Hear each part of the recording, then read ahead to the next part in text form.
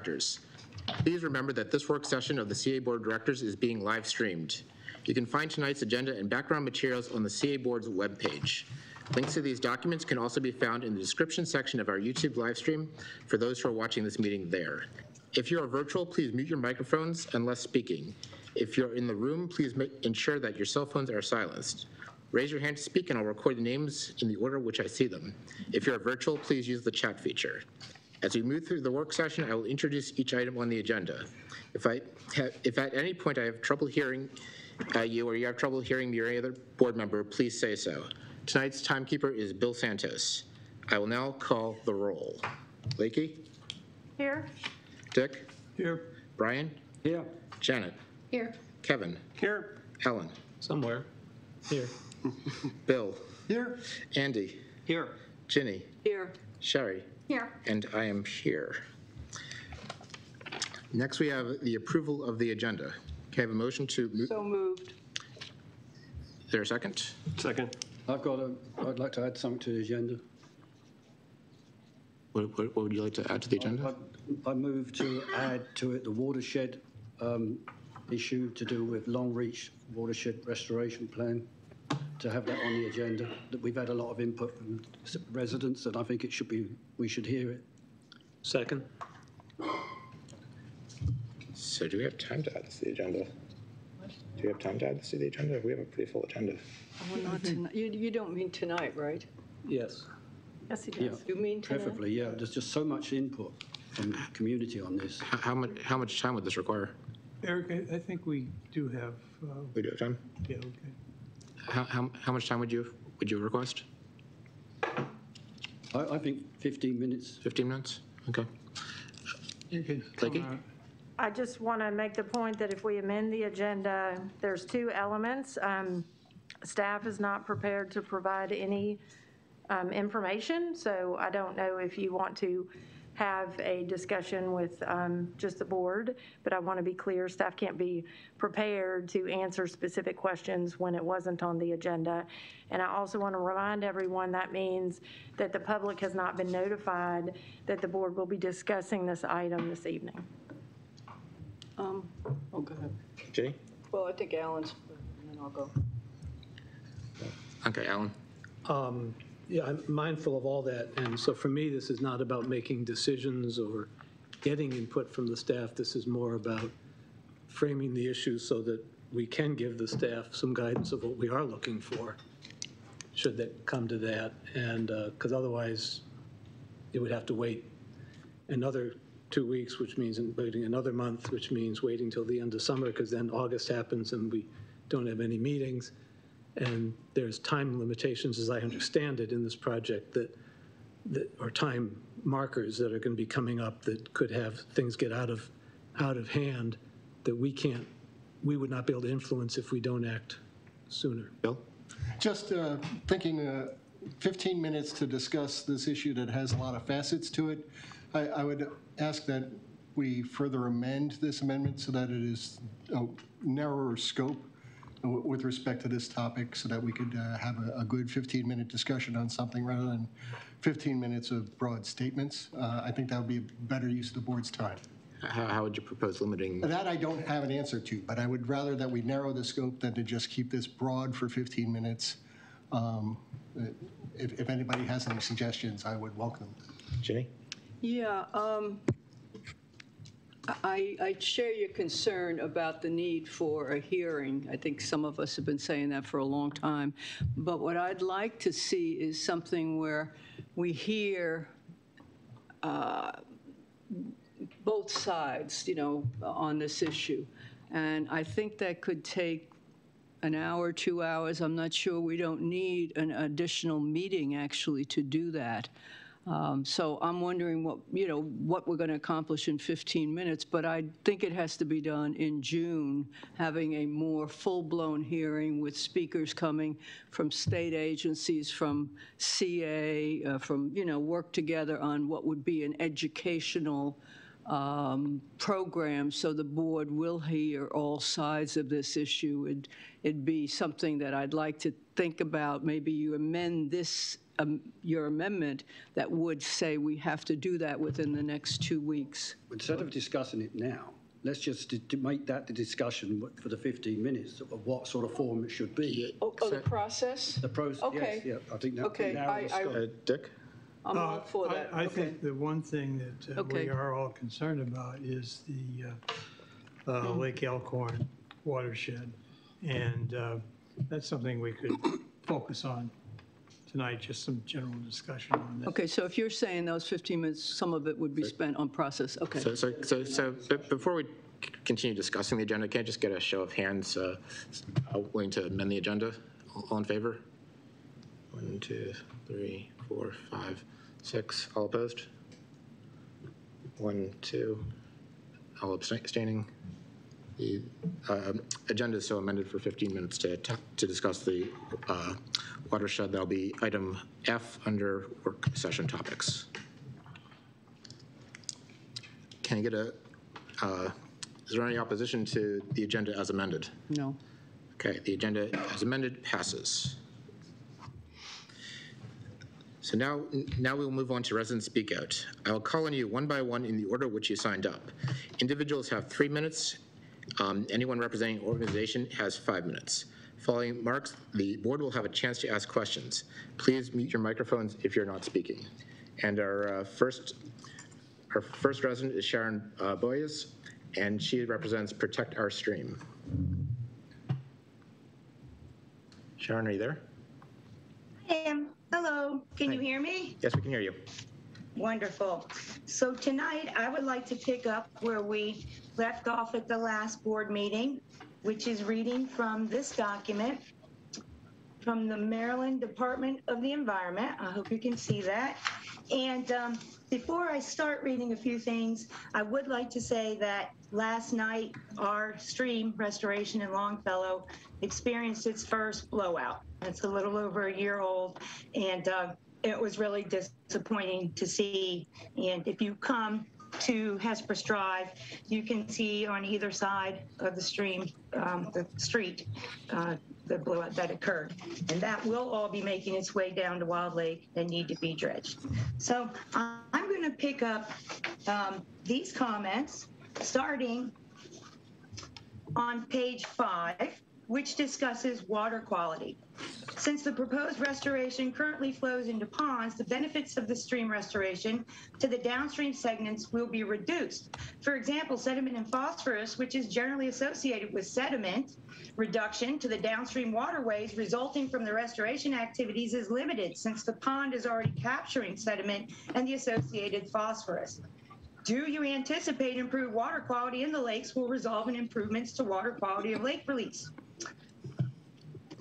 Do water quality issues exist due to the untreated stormwater entering the stream? The stream mitigation project will result in an improve, you say that the stream mitigation project will result in an improvement to aquatic resource function and passage. The existing ponds significantly limit fish passage, and it is not clear how this project will help with passage since little detail was provided. There are several other in-stream fish blockages. If you're requesting fish passage credit, you should verify there are no other fish blockages that will limit movement. This will require walking the entire length with the intent of documenting all blockages. It's a little shocking that that hasn't been done already. Page three, section two says you will be creating aquatic organism connection from the Little Patuxent River to the project area through the Lake Elkhorn Dam. Is there any work proposed to improve passage through to Jackson Pond or each one? I'd like to point out that the U.S. Fish and Wildlife Service letter raised very serious concerns about any work being done on the Lake Elkhorn Dam that it would, uh, could compromise the integrity of the dam and that Lake Elkhorn Dam has been classified as a high hazard dam. Moving on to tree loss and wetland impact. MDE is concerned about the potential for extensive upland tree loss and wetland impact. This concern is exasperated by the fact that it is in a suburban residential setting. While we understand that the prospectus is preliminary and impacts to wetlands and upland forests would be reduced through the design, the amount of the proposed impact to these resources is very high. The plans show many separate access paths through the forest. Is it necessary to have this many? Reach One has a narrow stream riparian area resulting in less area to work and high potential for tree loss of budding backyards. The southern portion of the project is designated as forest interior dwelling species habitat. This site was, was identified by the U.S. Fish and Wildlife Service as providing habitat for the federally threatened northern long-eared bat. MDE is generally in favor of raising the stream elevation to reduce tree clearing and direct and direct riparian buffer disturbance, assuming it does not result in increased flooding on adjacent properties. However, we need to better understand the indirect impact of increased hydrology on the existing riparian buffer. From site visits, it appears many of the trees in these areas are large beech trees and other non-wetland intolerant species, which tells us also that the beautiful beech forest in Longreach doesn't experience high water very often, or those trees that are roughly 100 years old wouldn't, you know, still be standing there holding that bank together. Please estimate the amount and provide a map of all forested areas that will have increased hydrology. There's a lot of concern about the lack of stormwater management, including pipes discharging large quantities of water directly into the stream, causing the stream instability. How will this be addressed?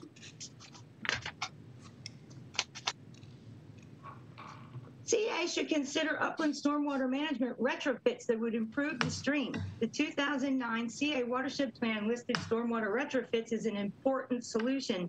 Additionally, the prospectus repeatedly discusses how untreated stormwater is the largest issue affecting these streams. For example, Mr. Chairman? have you considered Time has ex- expired. Thank you so much. Uh, I'm, I'm welcome uh, to take your questions. Thank you. Do we have any questions?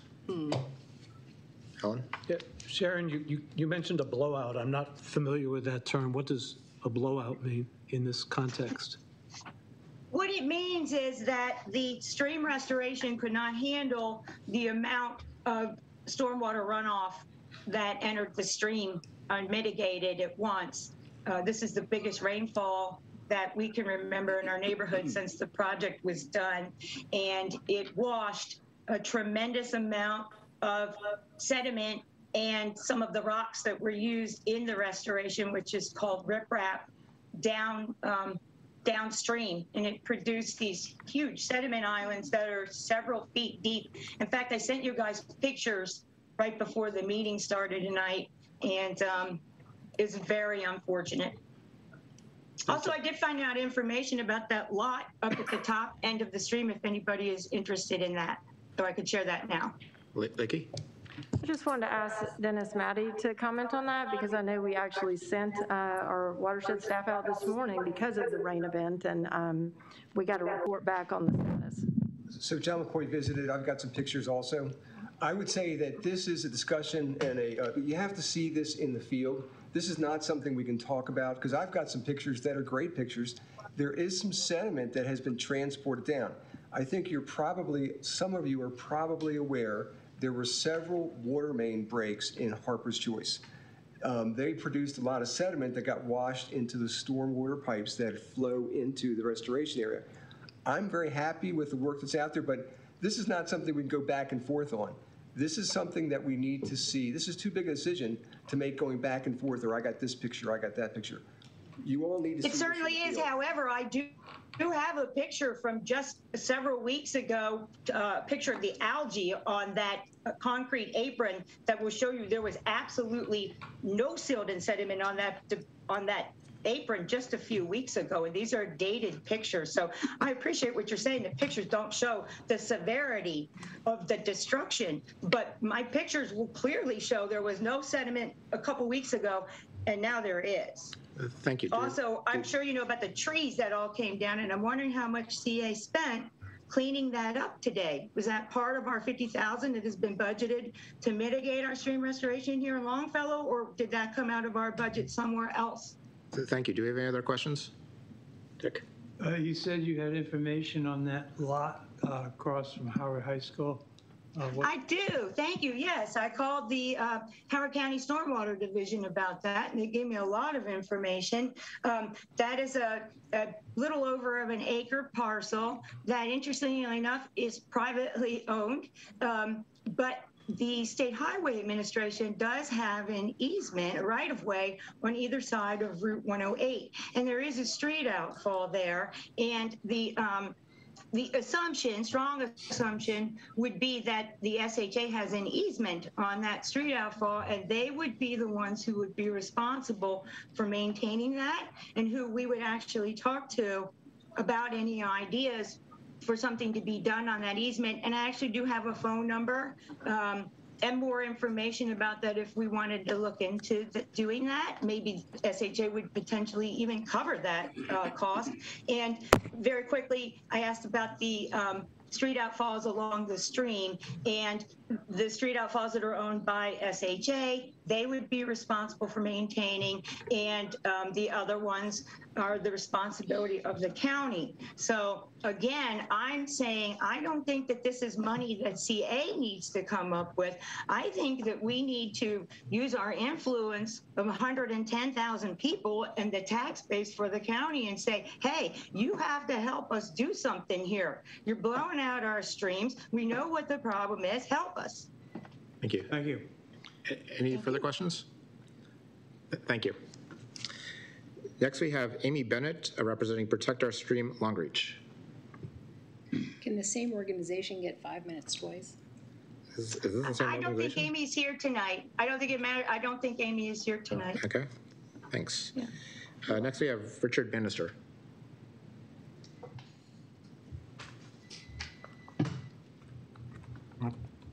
He's muted. I think you're on mute. Your mute's You're working muted. really well, Richard. My apologies. My apologies. Can you hear me now? I think Yes. you can. Um, I registered as a as an individual citizen, but um, when I heard from Amy that she was not going to be able to make it tonight, I'd like to uh, be recognized as a as a, a representative from Protect Our Stream Long Reach. We're a particular group, and here's my T-shirt. And um, so I'd like the five minutes. Eric, Okay. an organization gets represented by a single Yeah. person? Yes. Is is this a different organization from uh, Yeah. Sharon's? Yeah. This is this is Protect Our Stream Long Reach. And that's different from uh, Protect Our Stream? Yeah. Five minutes. In Longfellow, I guess. Yeah, five, five, five minutes. Yeah. Five? Okay. Okay, right. Thank you. Um, Last week, um, I, I, um, at the board meeting uh, on the 26th, um, the, um, do I have the right thing in front of me? Darn it. On May 26th, um, I mean, the- at the 37-minute mark, um, Ms. Boyd said that um, she did need to make, in response to those remarks, she said, I do need to make a statement that there are some inaccuracies. At least I would disagree with some of the characterization Ms. Bennett has indicated. So I do think it is important to go on the record with that. I'd like to know what inaccuracy is in what she said. She was reading from the MDE and what characterizations she disagreed with. And then um, Ms. Boyd went on to say, we can certainly have the sustainability team present again and provide the same information they provided in February. But I do want to state that there are some characterizations I would not agree with based on what my staff has told me.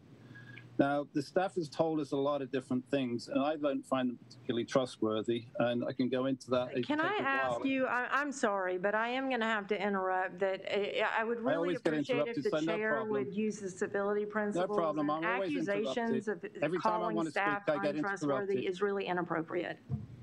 Can you, can you say Actually, that again, I'm wondering please? if you could speak up because I missed that completely, and if, or if the staff could increase the sound like they've done in the past, so we can, I can hear better, or the rest of you can hear better. So, I concur. Where are we? But can you continue? I, I'm sorry, I was interrupted. Can I begin Yeah, again? y- your, your, your volume's coming a little soft. Can you, can you increase I'm your not sure volume I- or just be uh, closer to the bring it microphone? closer. Can, can you hear me? Is That's that better. That's much better. Thank you. much- All right. Yeah. Um, Ms. Boyd said that she did need to make a statement. This is about last week at the thing that there were some inaccuracies. and um, and she disagreed with some of the characterization Miss Bennett had indicated. So I think it's important, and she said it was important to go on the record with that. Fair enough, but she didn't say what inaccuracies they were, and I'd like to know what they were and what characterizations she disagreed with. And she went on to say, we can certainly have the sustainability team present again and provide the same improvis- information they provided in February. But I do want to state that there are some characterizations I would not agree with based on what my staff has told me. And that's fine, based on what my staff has told me. And that's what my problem is here is, and um, for instance, she said all of this is in the sustainability team memo that went out in February. And from that memo, CA said, says in that memo, CA's team of technical experts in this field have reviewed letters and statements that oppose the recent proposal from the Lake Lake Elkhorn watershed. We want to ensure the merits of these projects are understood and misinformation circulating around our community is addressed. So in it, they say, one, opposition statement, the project involves a 133 acre easement, which would allow for up to 33 acres of tree removal, 50 feet on each side of over three, 33,000 feet of streams. And the um, sustainability routine responses, these numbers are incredibly inflated and convey misinformation about the scope of the project. However, page 62 of the prospectus from WSSI says total easement area equals 133 acres. That's what the, opposition is claiming. And so does WSSI. And then on page 18, it says the proposed mitigation site will consist of approximately 33,000 linear feet of restoration to degraded, intermittent, and perennial streams. As an easement of 100 feet, that's 50 feet each side, over 33,000 linear feet actually gives 75 acres on my calculator. That's the easement. That's the limits of, but the limits of disturbance were calculated by, um, um, I think it was the river keepers, and they made the they, they made the 63 acre um, estimate based on the delineated disturbance area in the prospectus. Now, I think it'd be really helpful for us to know how many acres are planned to be, how many acres of trees will be removed. Uh, I mean, one is too many for me. If it's 45, it's for 30. You know, we, it would be nice to know so we actually have a number. Uh, it has not been provided yet. And then it says CA has no intention of removing up to 63 acres of trees. Now, it's not CA who would be doing it, so it doesn't matter whether CA has no intention. The the the, the possibility has been handed over to WSSI. So that's an that's an inaccuracy. That is a mischaracterization. And it goes on. Um, to continue, it says, in fact, there is no currently, in fact, there is currently no conceptual design for the project. In fact, pages 57 to 61 of the prospectus are titled Lake Elkhorn Stream Mitigation Site Preliminary Concept Map, followed by number one through six. It contains where step pools might be installed, where so-called natural channel design might be used, where meanders might go. It's a concept plan. There are plans. This whole, I mean, you know, when you Mr. say Chairman, no plans, time has expired. it's a Th- th- th- Thank you. Do, we- do we have any questions uh, for Mr. Bannister? Helen? Um, Richard, I wonder if you're aware of the new system we have, that if you have questions for staff, there's a form to fill out online. I filled out the form and heard nothing back. I've done that in the past. So, and, you know, these these are arbitrary. They don't have to be answered tonight. I don't care. Um, I, I actually really appreciated what how you started the meeting, uh, wishing to hear the side that is against this project. And I think that a meeting would be really helpful where, you know, I could actually, I, you know, there's a whole lot more of misrepresentations and misstatements. And, you know, trying to frighten us. I mean, that that CA has basically claimed that um, uh, drain pipes are gas lines that had to be cut. And it's like, this is just nonsense. And they've claimed that houses, that homes are in danger of being uh, damaged by the stream. There are no homes being dam- in the threat. So it's like, you know, we really need to ha- hash this out. And we get five minutes, three minutes, or sending questions that don't get answered or half get answered. You know, we're not getting the opportunity to to to basically protect what we think is one of the most vital parts of Columbia. For Th- thank- us, this is the you. most Do- do we have any- beautiful part of this town. do- do we have any further questions? Thank you. And thank you for your testimony. Uh, Next on our list, you. next on our list, we have Marcy Leonard. Hello, good evening. Can you hear me okay? Yes, we can. Okay, very good. Thank you so much for the opportunity to visit with you this evening. Uh, Certainly learned a lot about our stream management from our first two folks. Uh, I also wanted to thank the CA Board for uh, the time and dedication that you put into your work on behalf of the Columbia Association. Um, Have the privilege of getting to, uh, of knowing some of you for uh, many years, and uh, very much appreciate the work that you put in on behalf of our community. Uh, I've been a Columbia resident since 1978 and a homeowner in Columbia since 1994. Um, so I've had an opportunity to uh, pay into the CA assessments for 28 years. I've also been an educator in the Howard County Public School System since 1994. Um, I'm presently the principal at uh, the best high school in Howard County, uh, Wild Lake High. Um, but this evening I'll be uh, speaking as uh, both with that hat on and as a as a citizen. Um, I wanted to spend some time tonight just expressing appreciation to all, Columbia Association for all that you do to create a wonderful community for our residents and for, as I think about our Wild Lake uh, students and families, um, for our community as well. Um, it, throughout my entire career as an educator in HCPSS, Columbia Association has been an incredibly valued partner in the work that we do uh, on behalf of and with our students and with our family members. I want to say that I've been especially impressed um, by the work of CA in the course of the past year. And um, I've seen that uh, improvement and shift um, with Ms. Boyd's leadership. So um, that has really been the common denominator of the, the visibility, the transparency, and the community engagement in uh, improvements that have really been palpable in, in at least in our community. Um, and uh, Ms. Boyd has really been the face of that engagement, and we are um, really grateful to her for that. Um, that's been increased presence on social media. And as we think about who our target audience is for the Columbia Association, I'm sure that the young people in our community are um, at the forefront of your of your minds because they are the folks who will be uh, the ones who will be deciding to live in Columbia for years to come, uh, to have their roots um, be, be put down and stay and contribute to our community. And to find them where they are is such an important uh, decision that you've made over the course of the last year. You've done that through increased engagement through social media, and I hear that from students that they see you and are able to know what opportunities are available.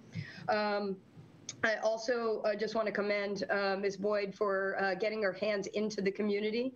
Um, sh- just at Wild Lake alone, she has come out and participated in one of our community nights and also came out and met with um, one of our student leadership groups as a focus group to get feedback on what the young people um, are looking for in their engagement with CA. And as one of our students put after uh, meeting Lakey, she said, Lakey is a vibe. And uh, if you hang around young people uh, uh, enough these days, you know that that is the highest compliment that can be paid to someone who is over the age of 18.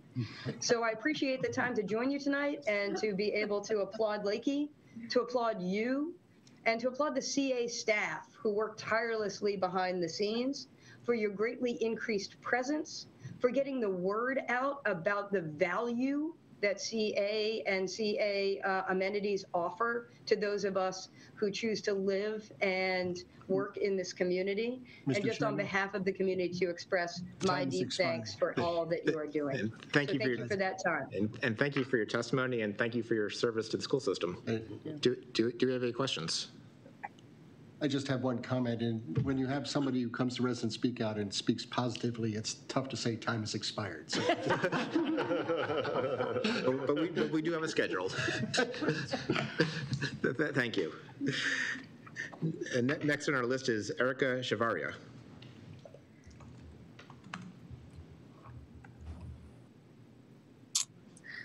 Good evening. Um, can everybody hear me? Yes. Wonderful. My name is Erica Chavarria, a 12th year veteran teacher at Wild Lake High School and the founder of Columbia Community Care. Columbia Community Care has been providing food and services to thousands of Howard County residents and students since the start of the pandemic. And in the last two years, we have served over 100,000 residents at our sites and completed over 13,000 home deliveries of groceries. From our inception, we have fundraised and we have um, been given donations and grants, and we have uh, forged amazing partnerships, have over 7,600 Facebook members, hundreds of volunteers, and a team of 10 site coordinators. Our vision moving forward is to respond to the holistic, holistic needs of our community through partnering with organizations and community members and providing programming around education, health and healing, and purpose pathway, pathways, while continuing to provide food and other essential resources. But I'm here really tonight to speak about the interactions that I've been able to have, that I've been fortunate to have with Lakey Boyd and with the Columbia Association this year. I first had the opportunity to meet Lakey this past February. I was immediately impressed with her background, her knowledge, and her vision for the future of Columbia Association based on her deep observations and analysis of the needs, the rich history, and the unique structure of Columbia. I was particularly impressed with her dedication to racial and social justice, true community outreach, and partnering with community organizations who have been here doing the work for many years. I also noticed her particular commitment and dedication to making the CA as accessible to all residents of Columbia as possible, which I believe was the original vision when Columbia Association was founded. And I've been a resident of Columbia since I was eight years old, um, and I am going to be 40 very soon. Um, as a high school teacher, I am extremely pleased to see that the young people of Columbia are a priority to Lakey. She has demonstrated this by providing more employment opportunities for Columbia's youth, collaborating with schools to get young people involved in CA. And recently, as my principal, um, Ms. Leonard mentioned, she met with a group of students that I advise from Wild Lake called the Wild Lake Students for Social Justice.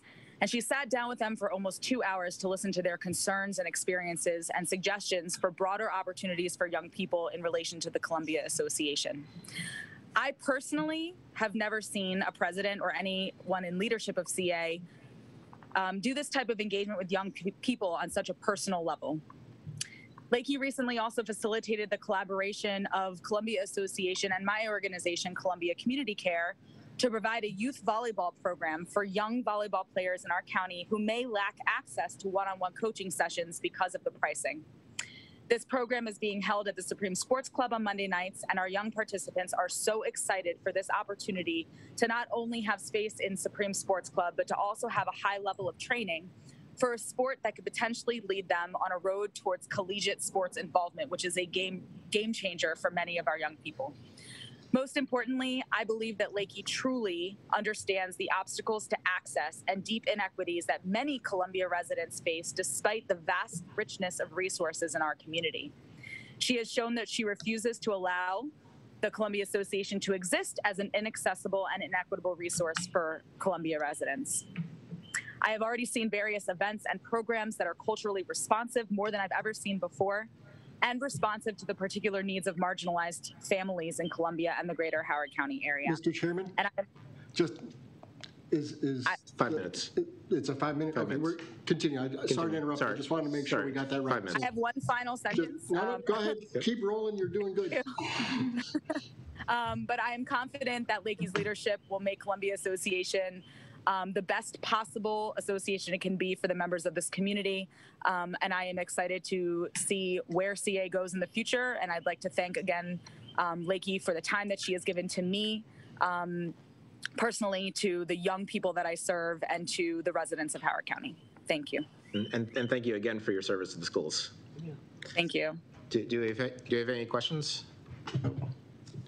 Just really quick, hi. Um, First of all, I apologize for stepping on your closing statement. That was a good one. Uh, uh, I just, it was the timing. Uh, But the volleyball program, could, do you, could you characterize the number of students that are taking advantage of that at this time? Do you know, just rough order in magnitude, tens, hundreds, what, do you know?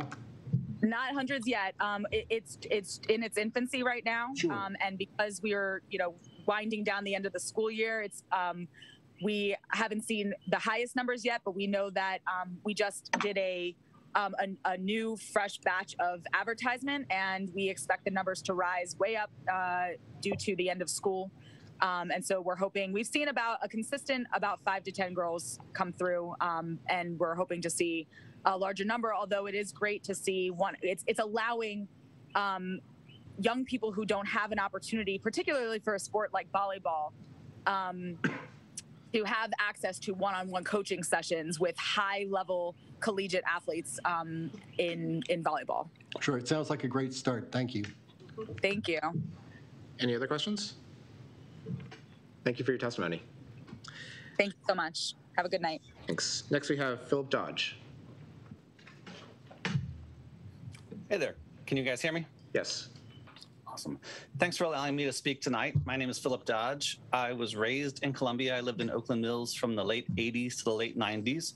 My wife and I returned here in 2006 to raise a family, and we've been in King's Contrivance for the last 16 years. We came here or came back obviously for open space and quality of life, but most importantly for the values on which Columbia was founded, especially the values of personal grow- growth and inclusion. And in my day job, my professional life, I serve as the executive director of the Downtown Columbia Partnership. And in that capacity, I've had the opportunity to partner with CA on lots of projects and that reflect our shared goal of making Columbia an outstanding community in which to live, work, and play. And I'm here tonight to publicly thank Lakey for her leadership in the way in which she has reignited passion in longtime employees and also hired some amazing new staff.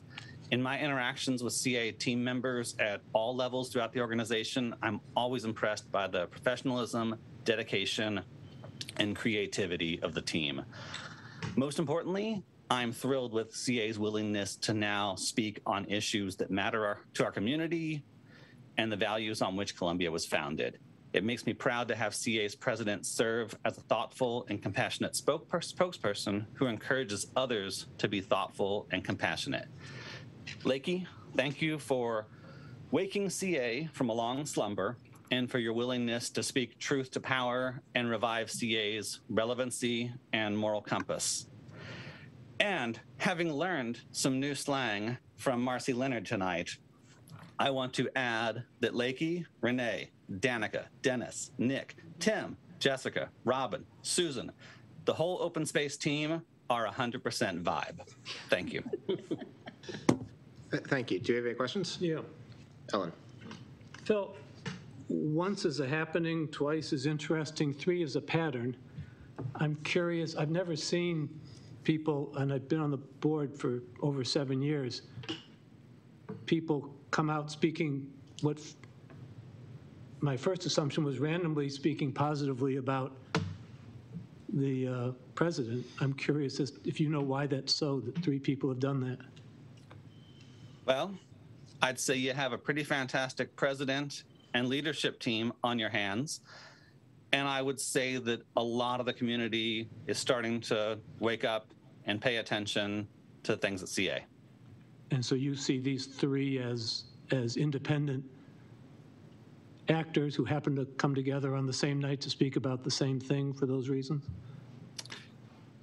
Unlike a lot of my neighbors, I don't work at NSA, so I'm not really into looking at patterns. That's an interesting answer. A- a- Any other questions? Thank you for your testimony. Thank you, guys. N- Next, we have uh, Dara Baker.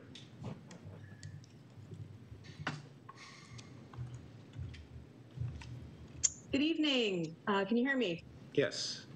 Hi. Um, I'd like to um, thank the previous question because I was kind of curious myself as to that. Um, My name is Dara Baker. I am a new resident of Columbia. I moved here just about a year ago.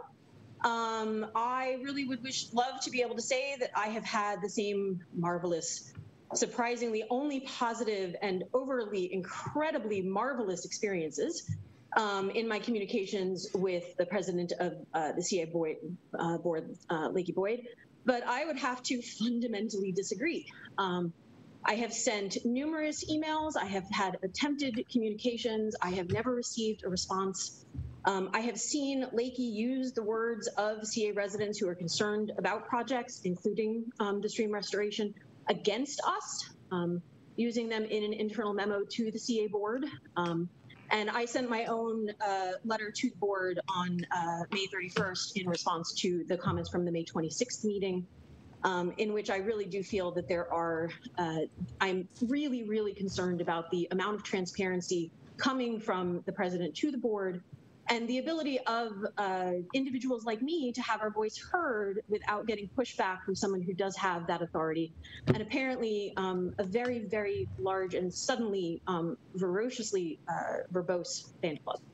Um, so I was here tonight mostly to sort of um, serve as backup and answer questions um, for anything on the stream project. But I, you know, I've had really positive experiences. We had a tree come down. We've had other stuff. I've called the open space. They've been fantastic. They've been wonderful. The staff is marvelous.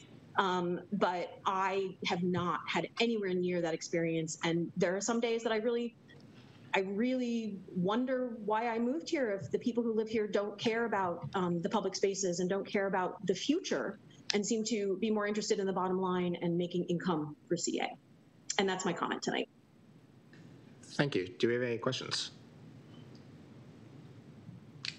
Thank you for your testimony. Next, we have Laura Bacon representing the third.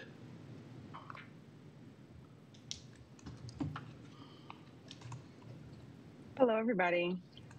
Can you hear me? Yes, we can. Okay, great.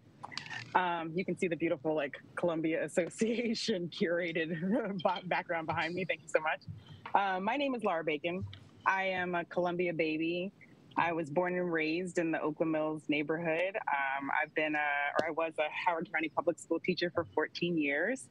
And now I'm the head of a local, I'm the founder and the head of a local nonprofit called The Third that supports women of color entrepreneurs.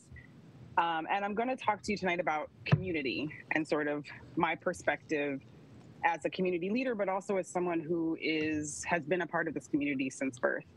Um, it can be a little hard to define, so I'm going to go ahead and just define it for myself. And I'm the way that I'm going to define it is as a verb, um, and it's the act of joining arms and supporting and caring for the people, places, things in your world, whatever size that world is what I feel from CA in the past year is community. Um, as a Columbia resident, I feel really hopeful about some of the larger organizations in our um, community as they really focus on community in a way that feels meaningful and not necessarily performative. Um, I feel this as an individual clearly, but I also feel it as an organization. I'm here to speak as an organization, so that's kind of where I will head. Um, as someone who's building a community focused organization in Columbia, it felt like a natural fit to collaborate and come together with Columbia Association. And it feels for me like a natural fit to come together and collaborate with any organization that feels like they're trying to work towards the betterment of the Columbia and Howard County community. I will say that as an emerging nonprofit um, and someone who's been in this community for 40 years, I don't meet with the same amount of um, excitement about collaboration as I do when I work with CA. Um, all those names that uh, Phil put out, I'll, I'm second them. They're a vibe. It's a vibe, Phil. I'll just tell you, a vibe, but that's all right. Um, I I want to talk about the leadership, but less about the person and more about the impact. So the impact that I've seen of the leadership is that I've just been able to meet with people from CA. It's been really great. And there's such amazing, wonderful people who are working there who are really trying to work to make sure that everyone in the community is seen, that um, residents are heard, and that programs and areas are ready for the community to take advantage of so that we can celebrate this amazing community that was built for us. Um, I, um, I first met our new president down at our first Juneteenth pop up cookout last year. She brought her family and seemed right at home down by the lake, enjoying good food and good music, which feels like a Columbia tradition. Um, and the gift of this current leadership, as I said, is impact. So I've seen it, it's the gift of reaching out to teens. I mean, I remember being a teenager in Columbia and having like CA meetups at the other barn and it not feeling like this reciprocal sort of um, relationship where I was being seen and heard. And I've seen and actually helped to hopefully connect Lakey with NCA and Robin with these uh, teen organizations or with schools so that they can sit and talk through what it is for this new generation of children, what they need from us and from CA and from the community. Um, and mainly right now, it is the gift of getting to plot and plan for Columbia Association's first ever Juneteenth celebration, which is a collaboration that brings together Columbia Festival for the Arts, Howard Hughes and the Third, and the Downtown Columbia Partnership to celebrate Juneteenth, a historical and cultural celebration of Black history and culture.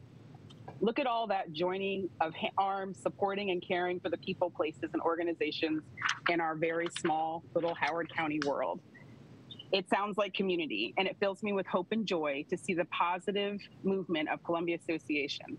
To the many, many folks at Columbia Association who have helped to bring us, the third, into the community and embraced us so warmly and, and welcomingly, I will uh, leave you with some iconic words. Thank you for being a friend. I appreciate you as a community member and as, as the leader of an organization here in Columbia. Thank you, and, and good luck with your organization. Uh, Jenny? Thank you so much. Yeah, congratulations. Uh, Could you maybe send us some more information on your organization? I would love to. Okay. What would you like to know? Everything about it. Uh, What your goals are, what you hope to accomplish, um, you know, whatever you think is relevant so that we would better understand what you want. Sure. For, for your love to. organization and for the people that would actually belong to it and be served by it. I would love to. We have over 120 members right now, so it's a okay. It's a it's a small organization that's growing very rapidly. Um, I'm really excited about what we're bringing to the community. Thank, thank you very much. Thank you. Any further questions? I, I got a question. Brian? Uh, when are you opening? the eternal question. So we as an organization are open. As I said, we have 115 members. We run programming for them, networking. Um, our community partnerships are open. We are clearly doing programming in the community to be able to connect people and amplify things for women of color entrepreneurs, um, like in Busboys, with Columbia Association, with Community Ecology Institute. But I'm sure you're talking about the space. And the space is opening as soon as humanly possible. Um, I don't know about you all, but it's been a little pandemic lately.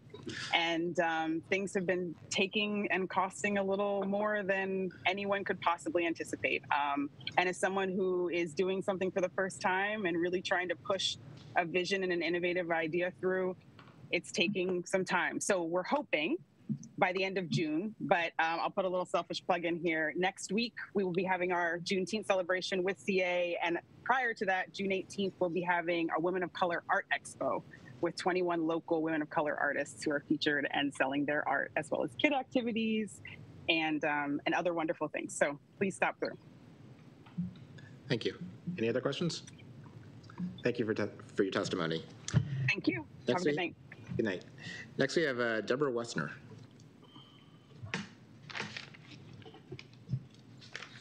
Good evening. I'm sorry, but you won't have a camera tonight. Unfortunately, mine is not working. I'm here to speak with you about the Lake Elkhorn Stream Restoration Project. It's going to impact 33,000 linear feet Could- of could- eroded stream banks. Excuse me, could you turn up the volume a little bit or speak a little bit louder? It's coming a little soft. Yeah. Okay, I'll try that again. I'm here to speak about the Lake Elkhorn Restoration Project. Um, As you know, it will impact 33,000 linear feet of eroded stream banks that are flowing into Lake Elkhorn. The CA Board understands that the major budget impacts from dredging are huge, uh, with over 12 million being spent for the most recent dredging of the lakes. And there's also pond work to do. And CA Board has charged the staff with trying to reduce these costs. The staff has tried to find ways to do so. They obtained two major grants that help residents offset the costs of installing rain gardens in a project called Slow the Flow. It was a very successful program, so much so that Howard County has tried to emulate it, though on a smaller scale. Unfortunately, the CA grant funds have been exhausted. CA staff has granted easements on some CA properties so that Howard County would undertake the effort and funding required to remediate these areas. In return, Howard County was able to capture TMDL credits or total maximum daily load credits that it needed to meet state and EPA requirements. In the most recently completed project, CA worked with the State Highway Administration to grant them easements on CA property so they could remediate sections of streams that were causing erosion and sediment pouring into Wild Lake. This remediation was done with state funds and will be maintained by the state for a fixed period of time under the original contract. I have heard seriously the comments of those who are opposing the Lake Elkhorn Stream Restoration Project. They expressed concern about potential tree removal, forest clearing, and habitat loss that would be necessary to conduct the restoration work. I would point out that CA staff learned as a result of the Wild Lake project the need to be more respectful of old trees, wildlife habitat, and people's perceived ownership of certain natural views out their back window. CA staff has told me that they intend to manage WSSI, the contractor for the Lake Elkhorn project, more closely than was considered necessary for the, the work at Wild Lake. CA staff has identified access points so that heavy equipment will not need to be using uh, inroads into the stream area that go through private property. CA will have old growth and unique trees marked, as well as certain wildlife habitats, so that WSSI does not disturb them. Mr. Chairman, time has expired. Th- Thank you for your testimony. Do we, do we have any questions? No. No- No questions. Thank you. Next, we have Robert Moynihan.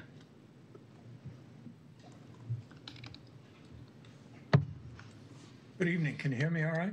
Yes. Okay, thank you. Uh, Thank you for this opportunity to talk to the board. And Specifically, uh, I'd like to address the proposed Lake Elkhorn Stream Restoration Mitigation Bank project. I'm a resident of the town center, a member of the Columbia Association Watershed Advisory Committee. I've walked and run that path between Elkhorn and Jackson Pond many, many times and seen the damage. I'm also a retired professional civil engineer and licensed land surveyor who practiced in the area of stormwater design and management for over 35 years. I've evaluated the technical report document entitled Mitigation Bank Addendum 1 for Lake Elkhorn and want you to know that I support the project and believe that it meets in every way the CA goals of maintaining our lakes and ponds. While the board has been made aware of concerns of some residents, I want to make certain you know three things. One, this is not an imminent project. It's still being reviewed by both the Army Corps and Maryland Department of the Environment. And it'll be this winter at the earliest before they respond to their review of the application. Number two, the current addendum document does not identify specific trees that will be impacted. As has been mentioned tonight, the addendum document only includes preliminary concept maps. There will be numerous opportunities to review details such as this after the Corps and MDE finish their review and after, if they approve the review, detailed plans are developed. Finally, you may hear arguments that the mitigation should happen at the source of the increase in stormwater runoff. In my practice, it was always preferable to design and install stormwater mitigation practices at the upstream point of the creation of the excess stormwater runoff. However, in areas that are already highly developed, like Columbia, the reality is that the ability to get agreements, funding sources, and commitments from hundreds of individually owned and fully developed properties to install, install stormwater runoff controls is very unrealistic. So the proposal to restore the stream bed and surrounding areas to accommodate stormwater runoff makes the most practical sense. In conclusion, I'm asking the CA board members to hold off on any final judgments until the Army Corps and MDE have an opportunity to do a thorough and diligent, diligent review. And we've seen evidence tonight that they're asking a lot of questions. If then the project moves forward and then detailed plans are prepared, then we can allow residents to respond to specific details in the plans, not preliminary assumptions. Finally, let me offer my experience and expertise to you if I could answer any questions or be of any assistance to the board. Thank you for your time. Thank you. Do Ellen? Yeah, thank you, Richard. I'm wondering, on what basis, I absolutely agree with you that we need all the available data we can get. What is your basis for saying that it's this winter at the earliest that an approval is going to happen? Is that somewhere in the documents, or is that just based on your experience with these kinds of projects? or- Yeah, well, more based on the experience and, and the timeframe and, and the fact that they've given additional time for uh, comments. They're taking it very seriously and they're being very deliberate. Okay. Does that include? Okay, thank you. Jay? Yeah, um, would that include, uh, the opportunity for the public to be able to comment before any final decision? Once, my understanding is once the Corps and MDE review it, if they approve the application, and there's still a lot of questions before they will approve that, because they're asking a lot of questions. But if those questions are answered to their satisfaction and they approve the application, then, as I understand, plans can be produced, or they, that will show what the mitigation effects will actually be. And while those plans are produced, uh, there will be comment periods, uh, both for CA and the residents of Columbia, to review those and ask questions, as they have been on these other projects that were done locally.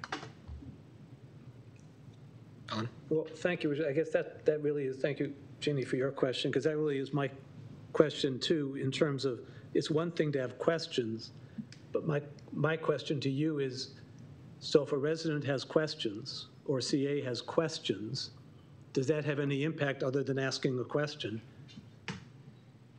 Impact on? On, the- on, on the project, on the decision to move forward, past that question?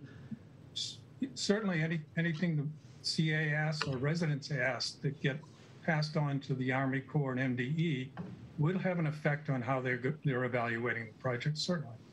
So they would have a, they would have the ability, once they've given permission, to pull that permission back or change it or modify something? Yes, if they approve the project uh, application, and that's all it is, an application, uh, they would still be reviewing these plans as, as with the public. Thank thank you. Any further questions? Thank you for your testimony. I have a question. Uh, Sorry, at this point, it's just questions from the board. I have a question. Uh, Sorry, at this point, it's just questions from the board, not questions from residents. Thank you. Uh, And our last speaker tonight is Joel Hurwitz.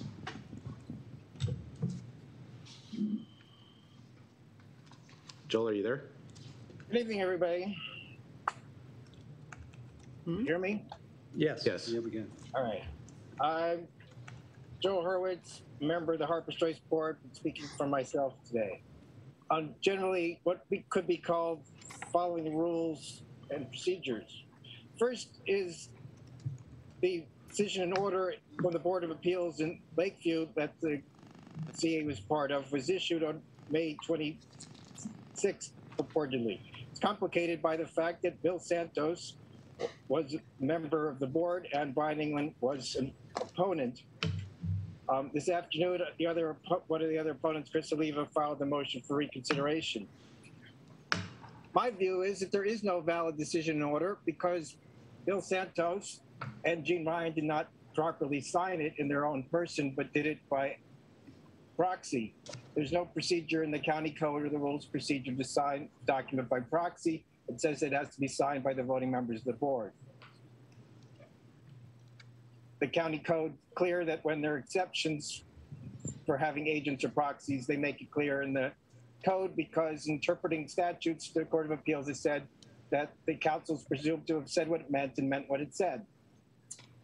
Um, furthermore, it was attested by the purported secretary, Ashley Aguilar, which I don't believe is legally the secretary, because again, the, the code and the rules require that the appointing authority is the Board of Appeals, and apparently the Board of Appeals has never actually appointed the secretary, and certainly not Ms. Aguilar. Furthermore, she attested to her own work in, in signing on behalf of the other members, not only as for signing the DNO itself, but certification that they listened to the recording that they missed. Does not comply, I think, with the state law on the replies, you know, from rule on notarial acts. I'd like you to talk about it because the Board of, uh, Planning Board is taking it up next week on the remand. It's complicated again, but I believe, as you discussed your ethics rules, and I believe you were wrong last time with this, May meeting, that every member of the CA has a right to vote on every member, matter that comes before you, even though you have these conflicts. If you were to have a policy to do otherwise, you could actually reduce the size of your quorum. And I hope that also while you're updating it, you remove the compensation provision that's in conflict with the bylaws. It's in your ethics policy. And for your board policies, I'm glad you're looking at that, and I hope you codify them similarly to the uh, HCPSS. But I also hope you look at the the uh, other policies and procedures, including the open space rule that says you're closed at dusk to dawn. I brought this up before the pandemic, and I believe Dennis Mattey had it on his list. You have fishing rules that only apply to wild Mr. eggs. with Chairman, Time cut has expired. Thank, thank you. Do, do we have any questions? Uh, yeah. Yes, um, Joe, um, what do you actually want the CA to do, the CA management to do? I'm not quite sure I understand. Which matter are you talking about, Brian? Oh, the, the first matter, the one to do with Lakeview. Since- Since CA was opposing it, I think you should continue to assert yourself because I believe that CA, as an adjacent property owner, is the only one that legally has standing if anybody chose to go to circuit court on any of these matters.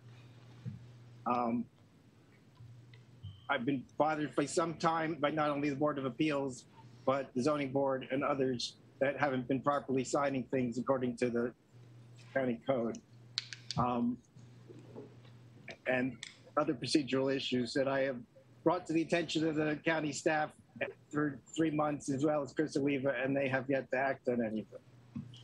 Um, I believe that because Mr. Santos is no longer on the board, they could only get two to two vote if they were to re-execute the document at, at this time. And therefore, it would be denied.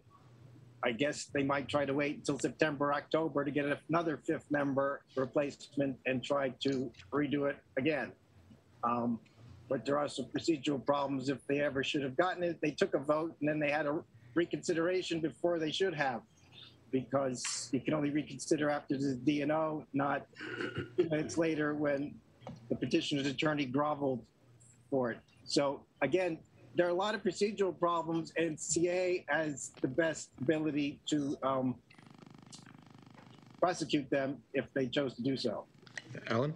Well, Joel, given that they are procedural questions, I'm, I'm having trouble figuring out what concretely would be achieved besides delaying.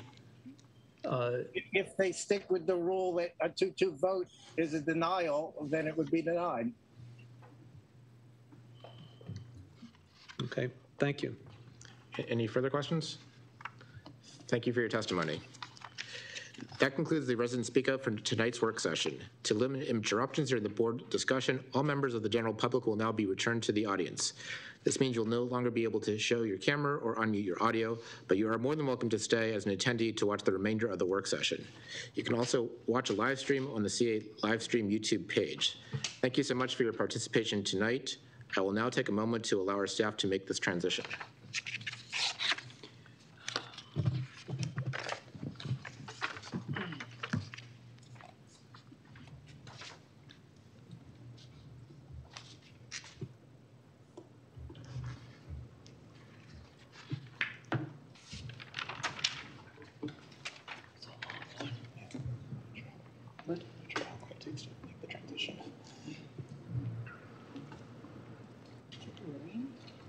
No, that's not good, sure. Mr. Chairman, point of, I'm not sure what, I'm not sure what the proper term is, order, information, whatever. I'd like some clarity on our resident speak out procedures. My understanding is that board members can ask questions but not make statements. There have been many times over the past years that I would have loved to have asked staff to follow up on something, answer a question from, from the, uh, from a resident, or respond to what a resident said. My understanding is our policies prohibit all that, and yet we had a board member tonight turn to another staff member and, and ask for that staff member's opinion. So I'd like some clarity on what is our procedure. So I believe our procedure is we can ask questions. The questions can go to uh, the the resident speaking out, but also questions can be fielded by, by staff. We can ask questions I- of staff. Great, thank you. case. At least that's been the case in my experience. Um, Next, we have work session topics. First work session topics are the advisory committees.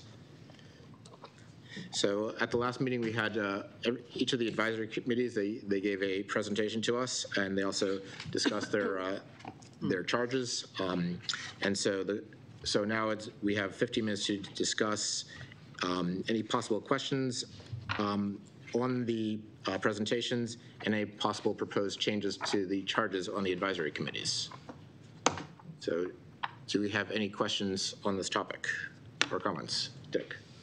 Uh, Yes, um, we uh, voted to uh, eliminate uh, board liaisons on a number of these committees, and uh, the feedback we got seemed to be that the committees wanted their um, board liaisons to continue.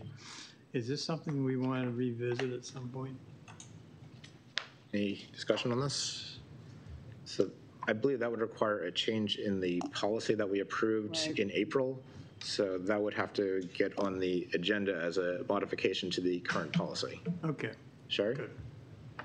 Yeah, um, the way most of these things, if I'm recalling, were handled in the past, and I- I'd have to look it up, but um, once a policy is voted on, it's, you really don't revisit it for another year, so that you give the new policy time to, uh, to see whether it's working or not. And then if you need to make modifications, you can come back in the- the next session and look at it again.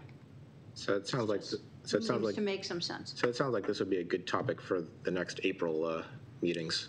Yeah, it may have to get on the agenda Yeah. if people feel that it's So, so, significant. so yeah, if you're on the April uh, Board of Operations Committee, that, that'd be a good thing to add to the agenda. Bill?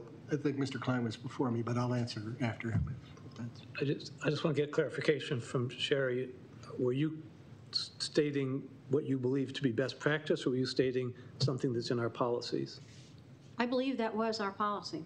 That we have to wait a year to change a Yeah, policy? yeah, or it was, was either a policy or a procedure, or it was the way But it was something- topics were handled. It was, but it was, that was an agreement that the board voted on and passed? That I don't know, but I just know that that's the way it was handled in the past. Okay. So that you don't constantly go back and keep revisiting the same thing and never moving on. Thank you. It would take a fair amount of time to get it on a future agenda anyway, because it would have to go through the, mm-hmm. the necessary procedures, get on the agenda and have the necessary readings. Uh, Bill?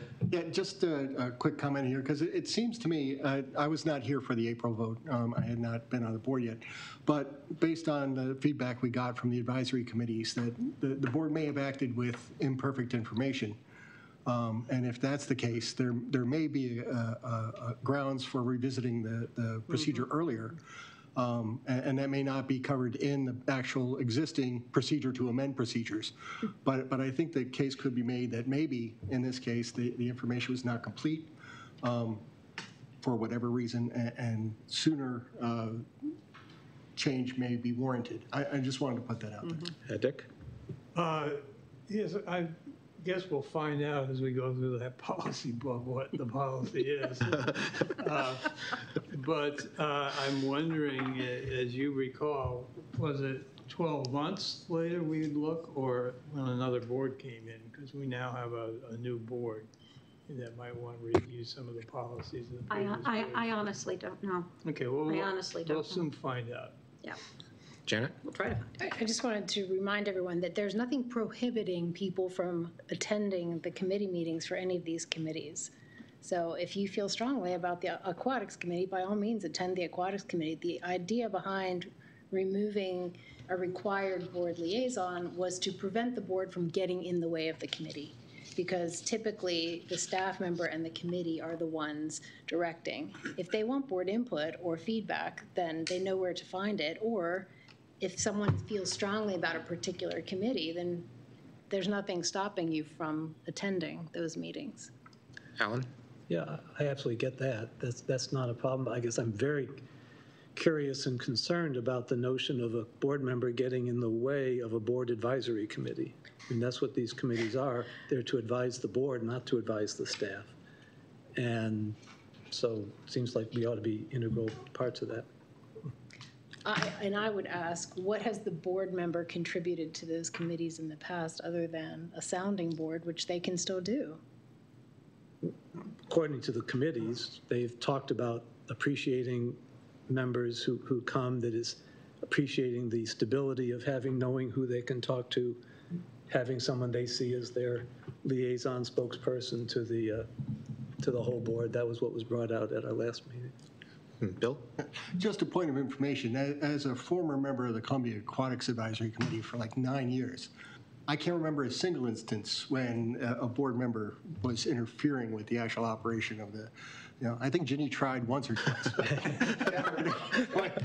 Well, when she wanted that private pool in her backyard, that, that was a little too far. I'm, I'm totally kidding. That, gotta that's probably try, you inappropriate. gotta I try. apologize. But uh, I, Thanks, Bill. in nine years, I don't think we ever had a board member interfere. I just want to provide that point. Janet? Perhaps interfering is too strong of a word. Sure. I would just like to say that, is this really something that is, like, we have a lot of things that we could talk about. We've already spent 10 minutes talking about this when there's nothing in the current policy that changes our ability to support any of our advisory committees. So I'd like us to think about how we spend our time and how we focus our time and not spend unnecessary time on things that have not a huge impact. Well, I- I'll just make a quick comment. I I think there's also an optics issue. Having a board member as an official liaison has a different optics than having board members Well, and that would have been an excellent point to bring up when we discussed the policy. Duly noted. Um, At the same time, this, this sounds like, given the discussion, this sounds like a, a good topic for a future uh, BOC to be added on a future agenda. But Andy? No, I was going to say, can we get back to the actual topic on the agenda, which was the charges? Um, I think overall, they're pretty good. Um, I did have one question on the, um, the Climate Advisory Committee. I mean, they were talking about, um, the- sorry, just a minute. Which, uh, which page? Um, Trying to get it. here. Page three of the, of the um, I don't know which. packet. It's the third uh, committee. Yeah. There's no yeah. page number, so.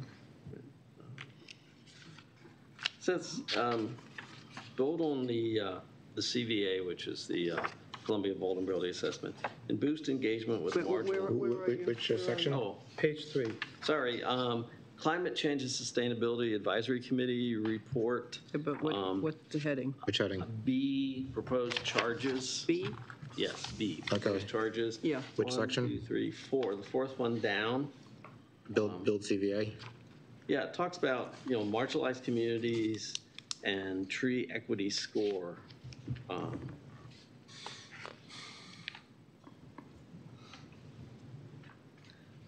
And I think the question that popped in my mind is, um, I guess when I, when I look at this wording and I'm thinking um, of the marginalized communities, that's generally an area. Um, And I'm thinking, are we saying that there are areas in Columbia that are marginalized? Because I'm not sure that's what I want to say. How would you propose rewording this? Well, that's, that's why I, I wasn't sure. I wasn't sure what this actual phrasing meant.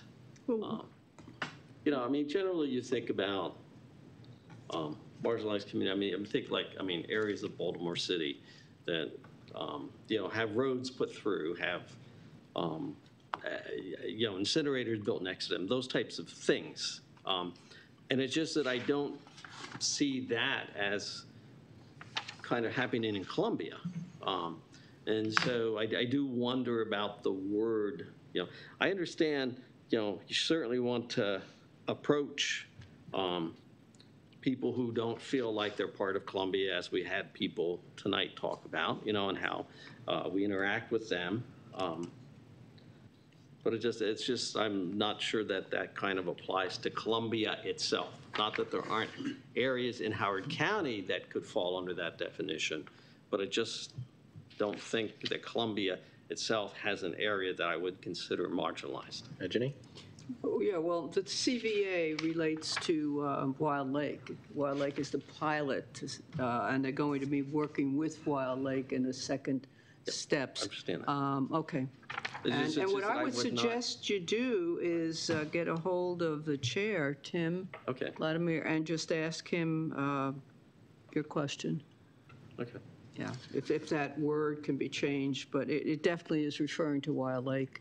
And then if other villages are interested, they can expand. Well, now you made me worried because I, I do not want to refer to Wild Lake No, as I, I I understand what you're saying. What I'm saying is, um, are are you going to be the one that will talk to Tim? Do you want me to do that? What do you want? You're, you're the liaison. I'll Okay, all right, I'll talk to him. Yeah, so, And Jeremy is also on there.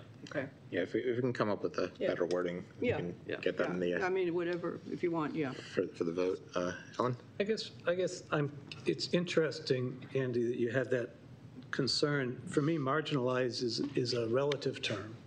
It's not an absolute term. So for me, marginalization within Columbia is, is relative to privilege and, and so on in, in some area, in other areas of Columbia.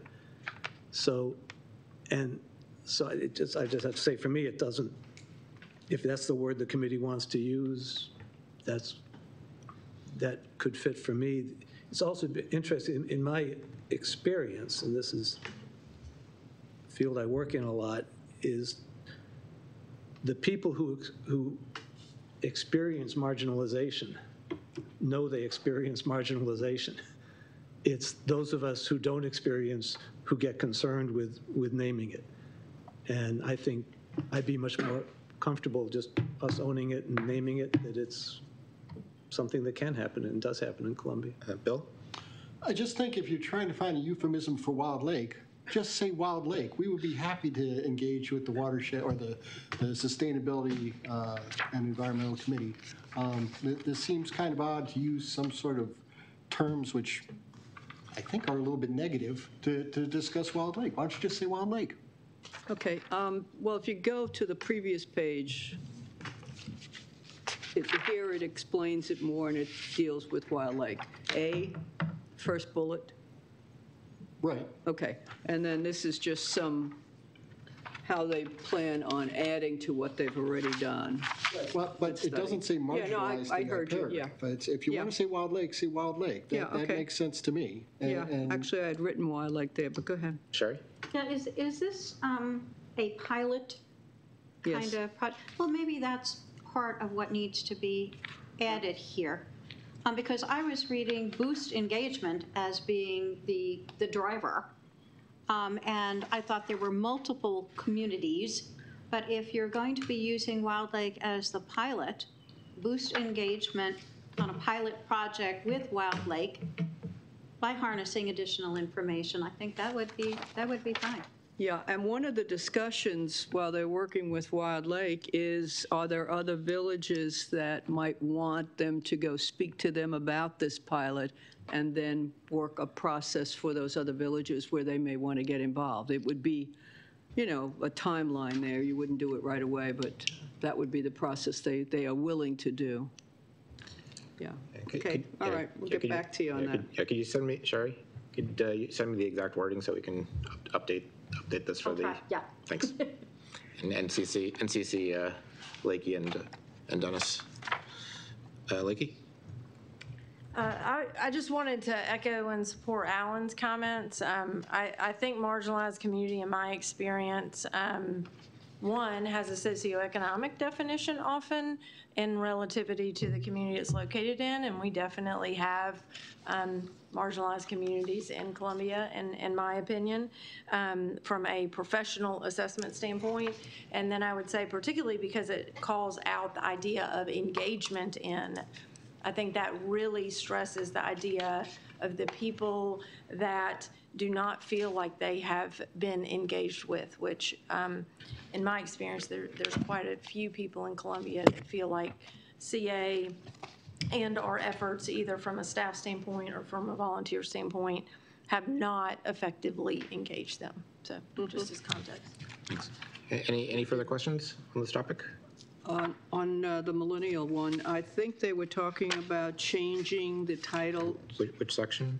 um, Millennial Advisory Committee, just the overall. Just I the- think they were talking about changing the title to 18 to 35, and uh, Colin Sullivan, the chair, made that comment, and I happened to be talking to him about another issue and asked him if they were going to propose an amendment, and he said he'd be getting to the committee, and I said, well, I think if you want that, you should be sending it in writing to the entire board. So as of this date, I don't think we've heard anything. No. But they seem to think that would be better than uh, this title. Isn't it, Sherry, they're aging out anyway, right? That's right. It- So So it doesn't make any so sense. does this yeah. committee have a age limit or age bounds, or is it by generation? Is it- I, th- I think, that- I think it was done originally um, by, by age. So yes, there, there are some people who have been very active. Yeah. Who feel that they're aging out. 36 and Um, they're off. So I, I think that should be looked at again, um, because I see no reason why people should not be able to stay engaged as representatives um, if they've been working on these issues. I mean, the question is, should it be age-based or by your birth based? Yeah. Kevin? So there, the generations, from my, one of my previous jobs, you know, you've, uh, there's X, Y, Z. And they're, the dates aren't quite perfect in terms of what people's ages are. Uh, So it's, it's a little bit of a floating topic. There are some experts, if you do some research on it, to see um, which generation you're trying to target in terms of giving services to. Um, But it seems to me, uh, it's Generation Y and Z are the ones that we're looking to, to help with that, that group, so. Ginny? Yeah, you have uh, a teen and middle school committee. mhm, You have a senior committee, and then you have this, Mhm. and, you know, Yeah, what, sh- So they're it's- they're saying, make it an age thing. yeah. yeah. Dick? Yeah, it seems that the target here is not millennials, it's young adults. And the millennials are moving out of that age category. Bill? As the liaison to the Millennial Com- Committee, I, I think at this point, we ought to leave this as named and let them decide it, because none of us are millennials or young adults at this point. Uh, because- hey, hey, Oh, hey, that just- hurts. Young at heart, yes. It hits all of us, I understand that. A- As defined in their report, right? Uh, But uh, I, I think we ought to put something in their goals that says to reconsider the name and, and report back to Yeah, the board. good idea. Then that would capture it, and then we could have that discussion. That seems to be the, the, the- the way to make this happen, I- I at least in my Possibly make it a little more flexible so that people that identify um, as millennials and not having strict cutoffs. Um, Any further uh, questions on this, uh, this segment? You have a question? I was, I was in agreement that, I mean, I remember when we formed this, and at that time, millennials were the young adults. Right. And so we, we forgot that people age, and eventually millennials are going to be senior citizens. And that's, committee's not really, that was not the intention of the committee. The Intention was young adults. Okay. Any, any further questions, comments? Okay. Next on our agenda is village excess cash reserves. So, uh, Susan, can you give a overview of the uh, cash reserve policy? Um, Sure. So uh, first of all, um, two things. One, the excess cash um, calculation is something that's established in the management contract. So that's been in place since 2019, and, uh, or actually in FY '18, sorry. And that, um, I did not have an in-depth discussion with the village managers, but I did share, have a brief discussion with them at the end of April, very brief, and then shared the material with them um, last week. Uh, And I would just start out by saying that we're, um, the CA staff is essentially agrees with the recommendations that, or the requests that the village managers made uh, in their letter that was attached, um, just with a couple, uh, actually a couple additions and uh, one clarification and one change. So um, I don't know how much detail you want me to go into, but uh, I would just say that, um, and I haven't, I don't think I mentioned, I have not heard anything from anybody since the material was distributed, so.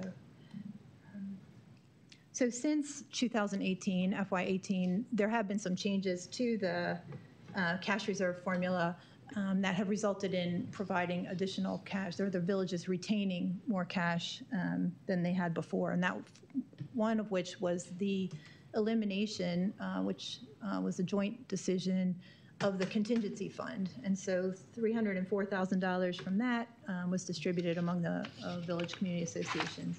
And that was excluded from the excess cash reserve calculation.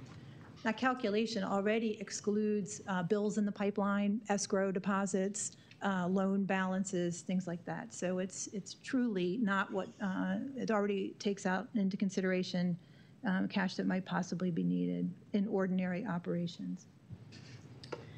Uh, And then, given the impact of the pandemic on operations in FY21, um, the CA board and the um, approved uh, additional modifications. So um, at that time, the board approved using an average, a three-year average of expenses, which is a component of the formula, as opposed to just one year, and um, excluding any uh, grants and uh, CARES Act distributions or loans, et cetera. So, uh, and also at that time, the board um, approved um, that if, in the event of excess cash um, being returned to CA, that those funds would be used within those villages, uh, returning the funds for um, projects or activities focused on environmental sustainability.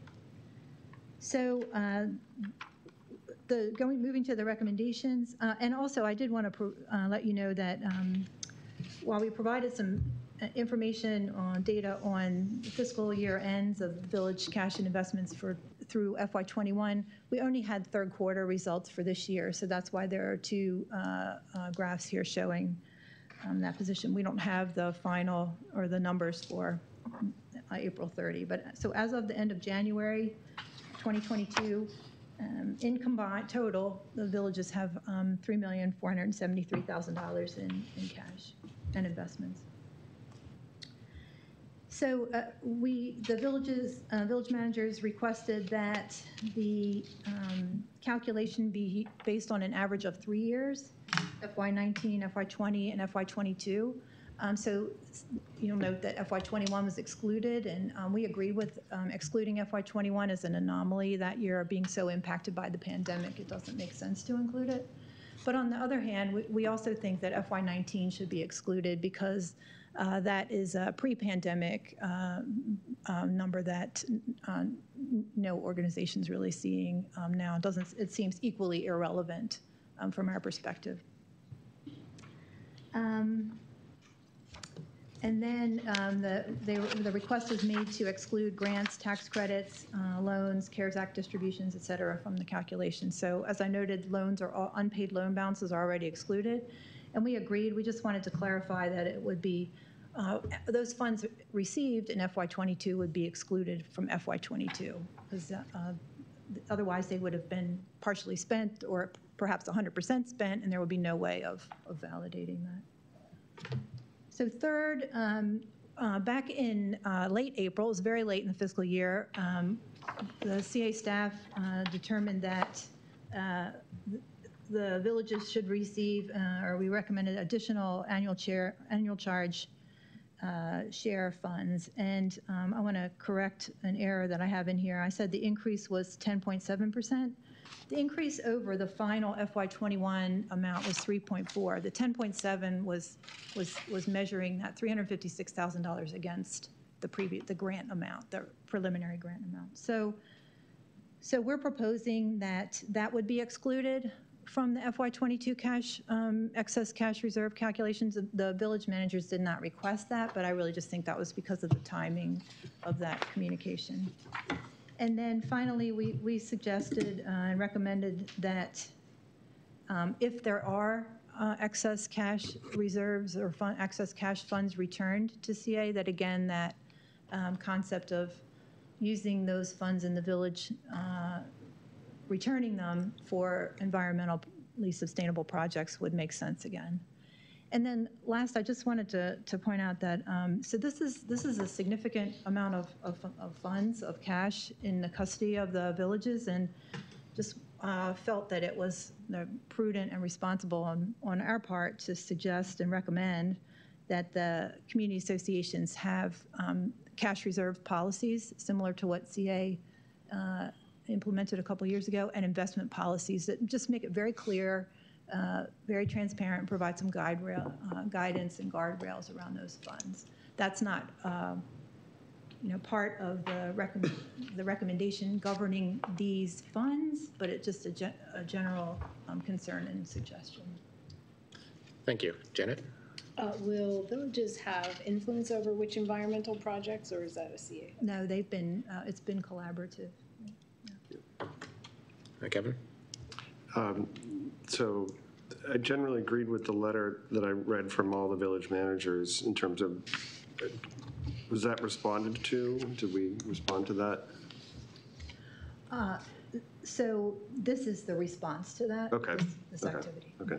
Just want to make sure they're clear on what our board and organization is saying, response to. So, yeah, yeah, this is for you to Okay. decide on. This is staff's um, response to Okay. that. and Are we doing that today, or is that at the next board meeting? It's at the next Okay. meeting. Just So you checking. have time to. Newbie here. Okay, Dick? Uh, I really appreciate you working with the villages on this. Uh, I was wondering, have they seen this iteration with your comments, so they've had a chance to I, I comment? sent it to them on Friday. Okay, Uh, good. Same as when you got it. Well, that's, uh, that's terrific, thank you. Alan? Yeah, a couple of things. I, I'm not aware or clear wh- what, is the management contract something that's written into a, a law or a, or a charter or a, by- where, where's the sort of provenance for that come from? So the management contract is, it's a contract between the Columbia Association Right. and each village, one by one. But So it's a what, i- contract. is there a requirement that that contract be entered into? Uh, Other than to be able to use the buildings and get the grant, no. Okay, so where, what, one thing I'm confused about in what you wrote is where does the responsibility, I get that we have a right to collect an annual charge, but when you add the phrase "in its entirety," to, to me, I read that as, and that includes stuff that goes to the villages. So I- absent a requirement for an annual contract, it seems to me we could charge an annual charge and not give anything to the village. Not that we'd want to, but, but, so I'm not sure where right and responsibility come from. We do it, but I'm not sure where those words right and or Oh, it's responsibility. unrelated to the management contract. So the deed uh, and co- and and declaration, dis- the Columbia Association's deed uh, is what drives and um, governs the annual charge. That we can do an annual charge, but that we Correct. then grant some of it to the villages. App- It's completely silent. There's is silent nothing on that says. And so that's why I, I think it's a little bit, we can certainly collect, it's it's our right and responsibility to collect an annual charge. I guess for me, that in its entirety, what- particularly combined with the previous sentence about the pass-through and all that, makes it sound like it's our right and responsibility to do this with the pass-through or with the, collect money for the villages, and that's not my understanding. My understanding, that's been a long-standing agreement, but not a right and responsibility. But anyway. I, I don't, I, um, thank you for your input. Okay. The, in, the last comment you made about uh, villages having an investment reserve policy, do you envision that if, if a village has an investment policy, and I'll just make up pretend numbers, and the village decides to invest within its policy $500,000, would those 500,000 be considered part of their excess, or would those be, do you envision that being used by the village and therefore not part of the excess. That's not the nature of an investment policy. So the investment policy would provide guidance around how the excess cash, any cash in the custody of, of the village Mhm. was invested, Right. not, So uh, so I'm asking you, if a village decided to invest, so let's suppose a village had 500,000 in excess cash, or what would have been 500, but instead they decide to invest that 500,000. Would Uh, that, would would not you, do you relevant. envision considering that they still have 500,000 excess cash? correct. Okay, that's, I just wanted to get that clear. Last question. I, I'm, a- and I wasn't here, I don't think, when this environmental policy, which I'm all in favor of putting money towards the environment, it seems to me that, that in- the environment doesn't end where a village boundary ends. And so I guess I'm a little concerned with just dropping money to a particular village that happened to have some excess cash, that might not be the best environmental use of that money to benefit Columbia. If the village wanted to use the money to benefit its environment, they could have used the money to do that, it would seem to me. So I'm, I guess, I'm, I'm a little concerned about the, the direct, if there's excess, it goes back to the environment in that particular village. It also raises the possibility that there would be a need that that excess wouldn't cover. And so then what do you do? Now, do we, Um, So this would be the excess that would be returned to CA. right, I get that. Okay, so um, I think it was um, a- appealing to villages in the situation where funds were leaving their village to go back to C- CA to have a, uh, a use for those funds um, in a way that still benefited the whole community, but was specific to their village.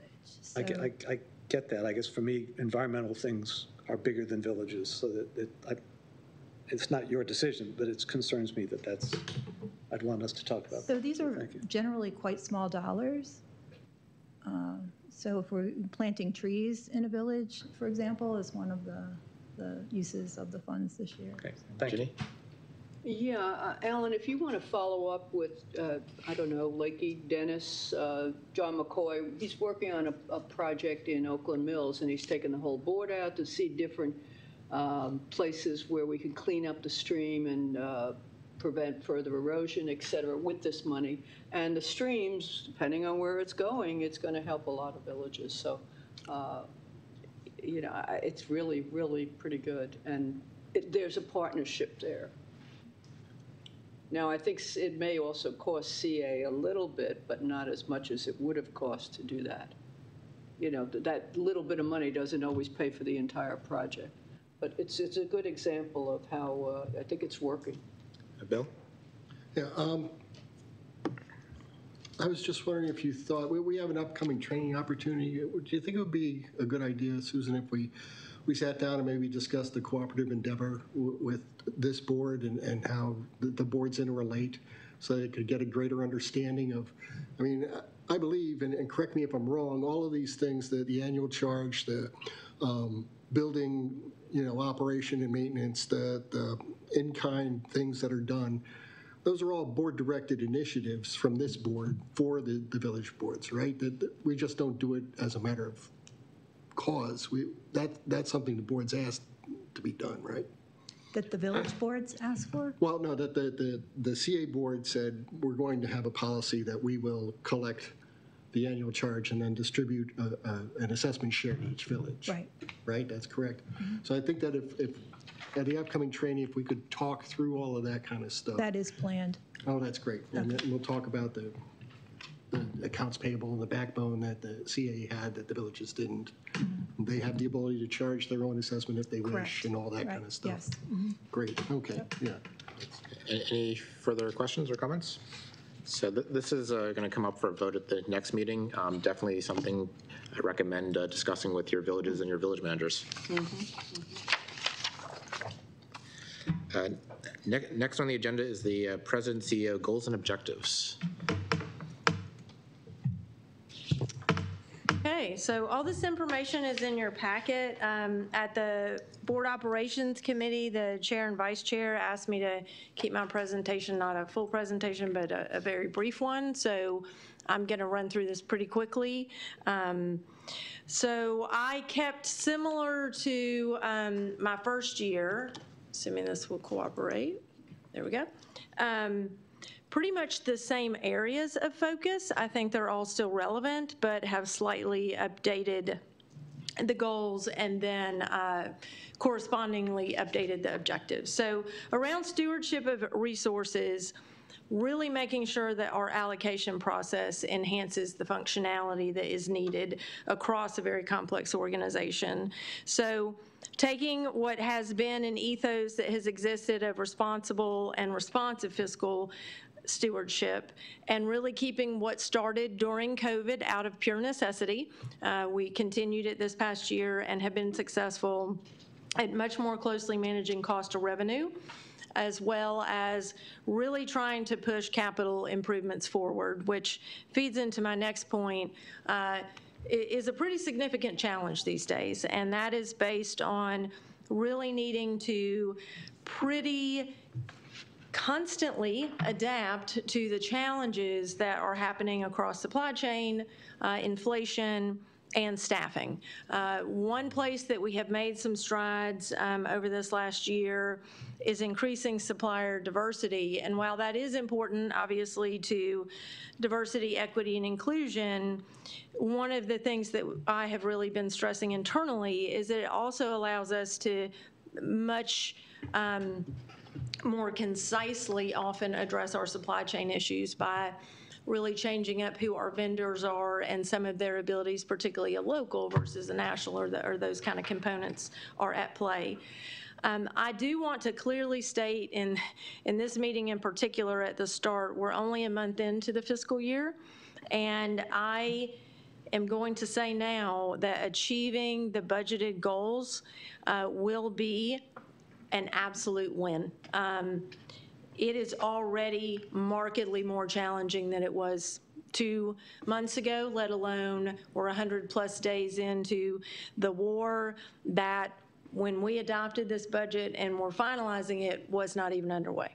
So the kinds of impacts that are going to persist and we expect to intensify um, given some other global issues that are happening, national, but really the impact on um, what we're seeing on delivery costs, on gas costs. I mean, every single component we're dealing with has a multiplier that um, is shifting based on purchasing almost on a daily basis.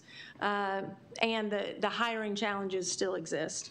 Uh, and then lastly, continuing making sure that we have a robust feedback loop in our budget process particularly around hearing directly from the community on resource allocation.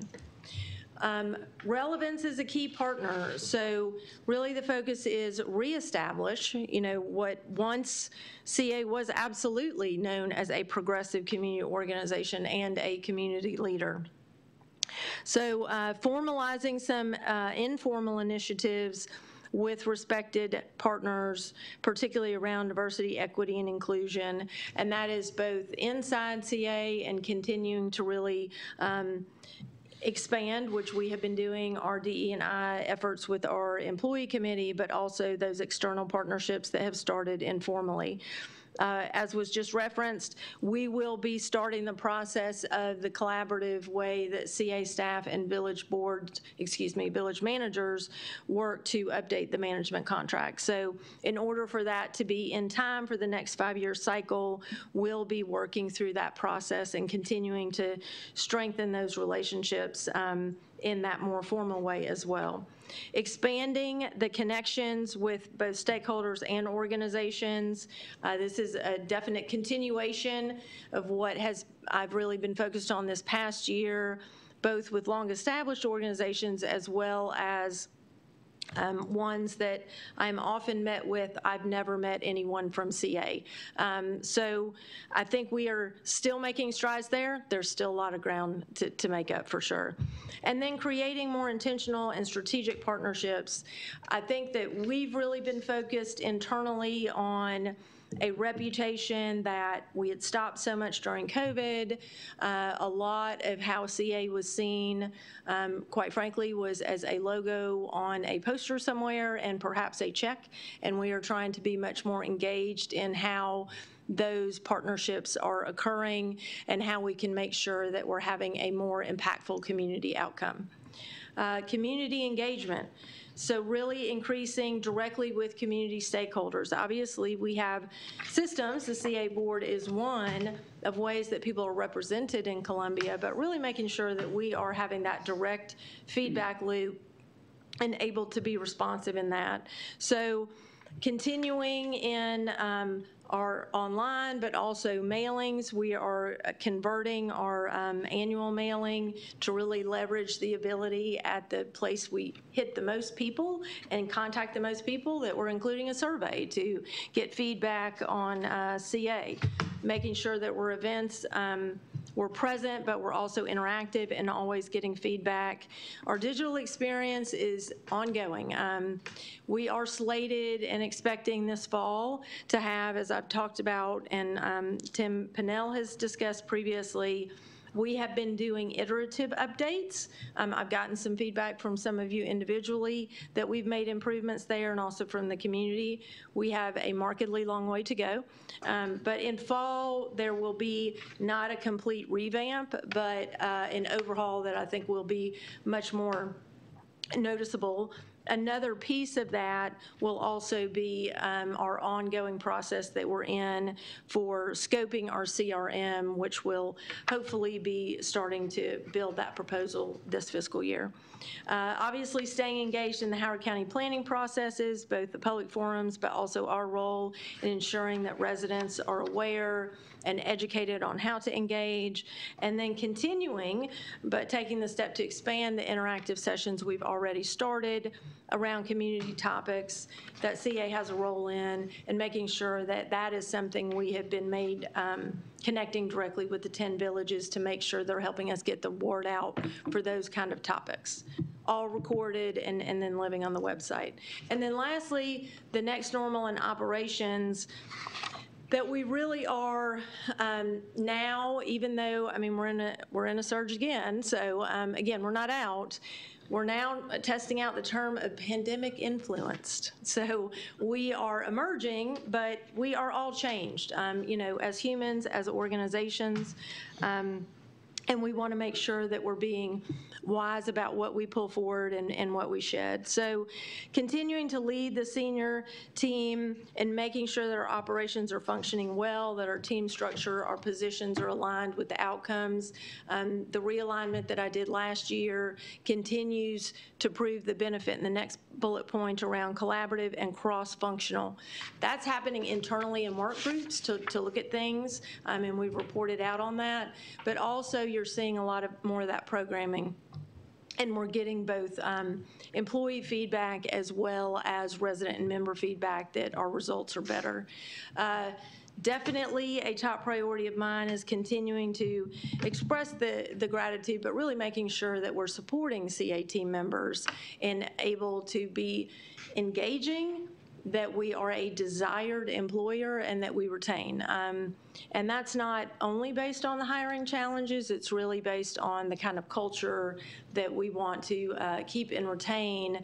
And we are seeing the early indicators we are attracting a higher caliber of talent as we deal with the hiring challenges. Um, we've been very pleased with how we have waded through that process and some uh, recent hires that have just been made. Um, and then lastly, and, and this will be a journey, um, really the purposeful use of data. I have, I have been trying to push this term. We have a ton of data. We have a ton of information. It's on a lot of paper and it's in a lot of, as people like to point, it's right up here. So we need to get that out of people's brains and onto electronic information. Um, and we are in that process we have to really have it more accessible to then make it visible, to then have it drive decision-making. And it's uneven. Um, We're doing it well in some teams, and we're at the beginning of that process in others. But we're using Smart Sheets um, as our backbone and really able to convert a lot of information that exists into a more visible format and dashboard. So that's something that I have been very excited about, and our new director of IT that's been with us about six months has been instrumental in. So just to give you an example. Um, And that is it. So I'm happy to answer any questions. Thank you. And uh, before I go into questions, I will just remind the board that this is something that the board will vote on and and approve at a future meeting. Uh, Ellen? Does future mean in two weeks, or does future mean, I mean, is that when it's up for? I believe, I believe in two weeks. Okay. A Couple of questions for you, like, going back to the first slide. I'm not, well, first question is, usually I think one aligns something with something else. So what do you mean by aligning CA's responsible and responsive fiscal stewardship of resources? Aligning it to what?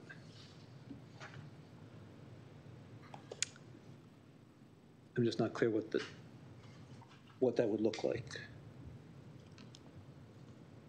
Didn't mean I'm, I'm trying to understand what, what your, which Usually we section. say, I want to align Oh, here we our go. costs, Okay. it's the first bullet on your first Mhm. page. I want to align our costs with our revenue, or I want to align uh, projects with staff or needs, or whatever. So we're going to So align it- something it's something. aligning that our fiscal stewardship, so our overall budget, our overall financial approach, our overall cash reserves align with managing cost to revenue and making sure that we're actually implementing capital projects and not getting so strained in the challenges that are happening around supply chain and inflation. Got it, thank Sorry, you. I didn't understand. Um, And you said we, we have had, uh, another phrase I wasn't familiar with, in the past, we have had a responsible and responsive fiscal stewardship.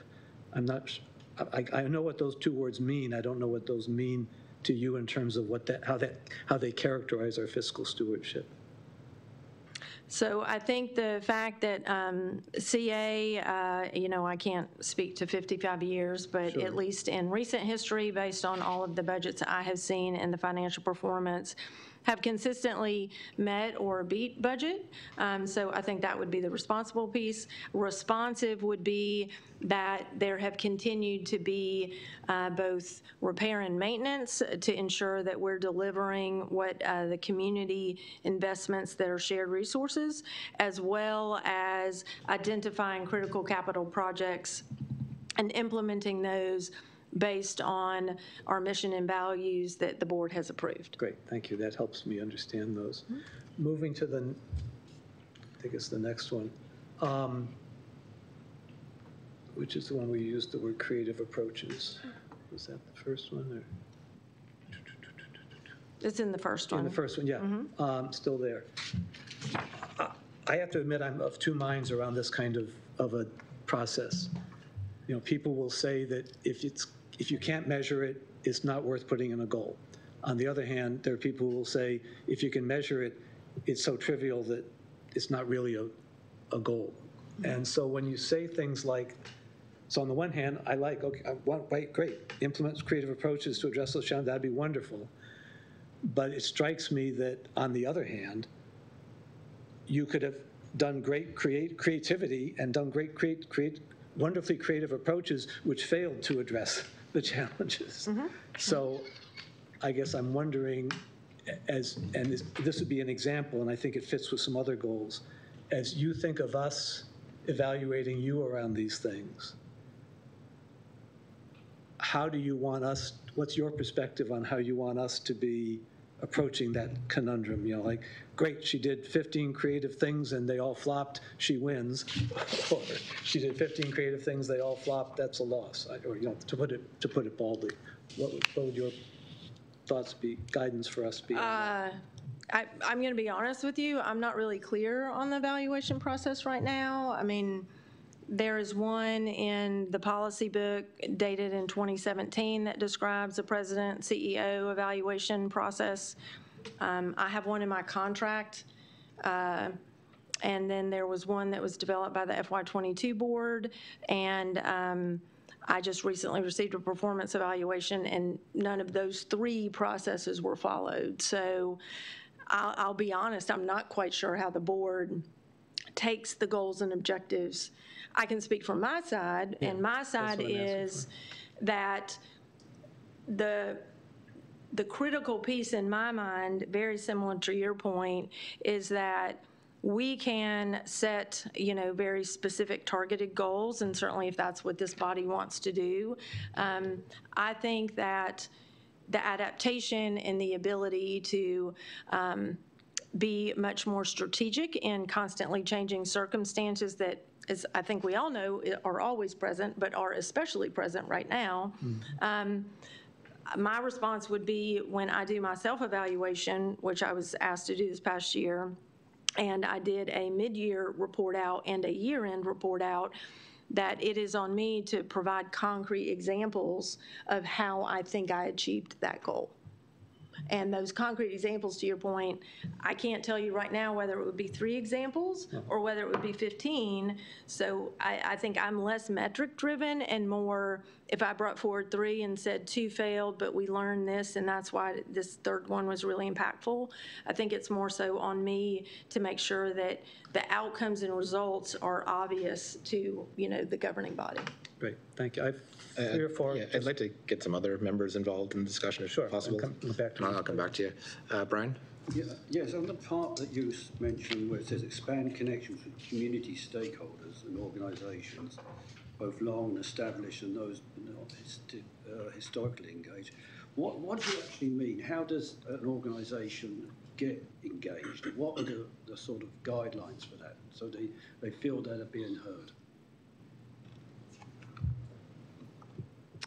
Uh, So these are my goals and objectives, so I can't speak to if, if there's a specific organization that you're talking about. When I say expand connections, the way that I do that on the operational side as president CEO, um, I do some direct contact with the organizations, but my role is largely directing my senior team and them directing their team members to uh, identify organizations we have not connected to, to respond to organizations that have contacted us, um, to identify uh, through commi- external committee work and boards that our staff serve on that bring that back and say, this is an organization that is important to us. So I think, you know, I can only answer it from my role and, and how I operationalize it. So if an organisation wants to connect to Mhm. you, what is there a process that you go through?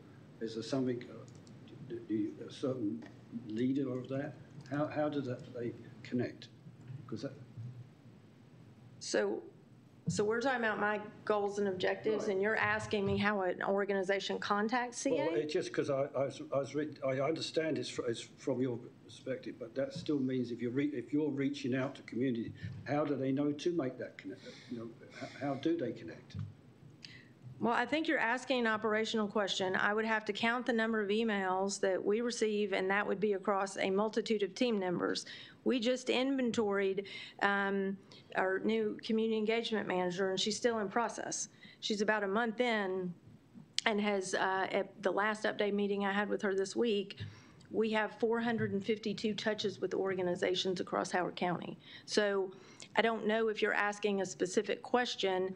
The answer is organizations contact us in a multitude of ways. Sometimes staff, because they're working in wellness. Sometimes our open space team reaches out to them and says, hey, can we partner on this? It's, it's through a variety of ways. Thank you. Any, any further questions? Bill? Yep. Going through this, I haven't seen membership discussed at all. And I was wondering if membership is part of the president's goals for the year. And uh, For me, it's one of our crucial points. We need to certainly increase membership. And it's, it's not included, it's, it's absent from this evaluation. I was wondering your thoughts on that. So um, I, I would say it's not absent. To achieve the FY23 budgeted goals, there's an 11% increase in membership that is in that budget. Well, why not just say exceed 11% increase in membership as a goal then? Because I'm saying that we're going to achieve the FY23 budget, which has a multitude of financial goals in it. Well, why not put them in here then? I mean, it, this is all done through euphemism. I, I'm implying that I'm going to make 11% or better than 11% because it's said in another document. there's no footnote, there's no reference, it's, it just says a- a bunch of words here, right, that, that don't say membership. Is that correct? I, well, I don't believe what you're characterizing is correct. When it says FY '23 budgeted goals, I, I believe that represents the adopted FY '23 budget, which is a very comprehensive document. Sure. That if you want to understand what those budgeted goals are, you would reference the budget. But, I mean, if, if you want something specific in here, I mean, it certainly can be included, but I guess I'm saying, I, I think we're actually, I'm reaching for more than a singular bu- bullet of 11% membership. There's a lot of components that's in the FY '23 budget. So I, I don't, I don't agree with the characterization that it's just words on a paper. Um, I mean, in, in my opinion. Uh, One, one clarification, when you say membership, are you talking numbers or dollars? Uh, it could be either. I mean, it, you know, uh, it- I guess it's, how is it stated in the budget? If that's the, the, the context that we're using here for this, um, how is that stated in the budget? And budgets are usually dollars, although there's a, uh, there, there's a, a component or appendix at the end which will talk about uh, numbers. It's, you know, it could be an either or, you know, that- that, there's certainly something that could be said for that. You know, it's a eleven percent in dollars or fifteen percent in numbers, it's, it's probably about the same, um, roughly speaking. Um, But it, I just figured that we would have that stated explicitly. Implicitly is, is something to chew on. Andy? Yeah, um, I mean, I think you've got a lot of, um, good ideas, good goals. Um, I think my biggest concern is, um, as you kind of started out, we're living in a very different year. Um, and although you may have greatest intentions and, um, you, you simply may get swamped simply trying to manage what is about to occur, what is occurring and what is going to continue to occur in terms of the financial. um, um, And, and so part of me worries a little bit that if we set all these goals and suddenly some of them aren't achievable, not because you can't achieve them, but because we got to spend all our time figuring out how to handle the economic situation. Um, You know, I don't want that to reflect badly, and I don't know how to incorporate that in, but it's just uh, something I think that the board has to consider, um, that, you know, we can set goals, but it may be that they get overtaken by something that is much more important in terms of, um, you know, the economy or something driving us, that, that, um, yeah, we don't necessarily like it, but we're kind of going to be stuck with it. You have any comments? from- I, I would say I concur, I- which is why it's in the beginning. I mean, I, I think that, that's why I wanted to clearly state, I think achieving our adopted budget uh, is a much bigger mountain to climb, given what has only already happened in just the first month of the fiscal year. So I, I would concur and would certainly hope that the evaluation would take into consideration, you know, global issues that impact everyone, yeah. Jenny? Yeah, uh, I'm sure this is in here someplace, but um, we talk about uh, relations with uh, village boards and community stakeholders, other organizations. Is there anything in here about relationships with the board, corporate board, or, it's got to be in here someplace, I'm sure. Well, that had been included as um, a section in the evaluation, at least the format that I was given last year, so I did not call it out as a separate standalone goal. Uh, I don't understand. Uh, i- Is it one of the goals under something else, or is it uh, I, I just, so. It's I'll- not here at all? I'll say it again. It was in my performance evaluation, and in my contract, it's one of the components that I'm evaluated on. So I didn't think that I needed to put it forward as an explicit goal and objective, given that it is part of my operational duties. Okay. A- Any further questions? Uh, Alan's got his hand Yeah, but I want I was other- wondering if- people to- Yeah, I was wondering if anybody else wanted to jump in before I go around a second rep time. Yeah. Uh, Alan? Yeah, I guess, I want to follow up on what Ginny just asked about, in addition to a couple of other small questions and points I want to make. It seems to me that everything just about that you have in these goals is part of your job responsibility. And so if board relationships is specifically called out in your contract as something you're to be evaluated on, my experience is what we ask the president to do is come up with goals so that we can agree on them and then, or, you know, mm-hmm. help modify, agree on them ultimately, so then we know what to evaluate. If there's no goal around, for example, board relationship, mm-hmm. then we're left just to our own devices, and if that's how you want it, mm-hmm. that's, that's a way to go. Um, A specific question I had, when, when you started talking about the management contract, you started to say village boards, and then you switched and you said village managers. Mm-hmm. And I'm trying, to I, I should know this, but because I don't have a vote on my village board, I, I don't, sometimes don't remember. Do village boards approve the management contract, or is it the village managers that approve the management contract? So the village boards approve them, but the work teams Are the village managers. Got it, So right. to get the work done, it's the. It's the managers, right, but ultimately, it's the, the village boards need to be involved. Right. Um, There are three things that, or two things that I'd like, I would like to see subtle changes in. When you talk about engagement in the planning process, which I think is great, um, we have a, at least unless it's been changed since I was previously on the board, uh, we have a strategic goal around advocacy, which to me is a stronger word than engagement. And so I would, you know, as an individual board member, I would like to see advocacy reflected in the goals, advocacy for, and then advocacy about what, of course, is the next question.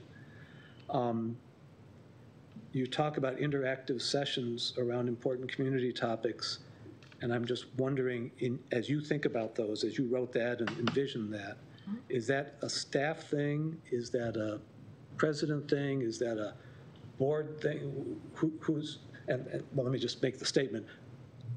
I think we as a board need to be more involved in that. I would, I would prefer to see those as, not every single, every single engagement, but that we as a board need to be doing more interactive sessions as we have done sometimes in the past. But so I would prefer to see it as an inclusive thing.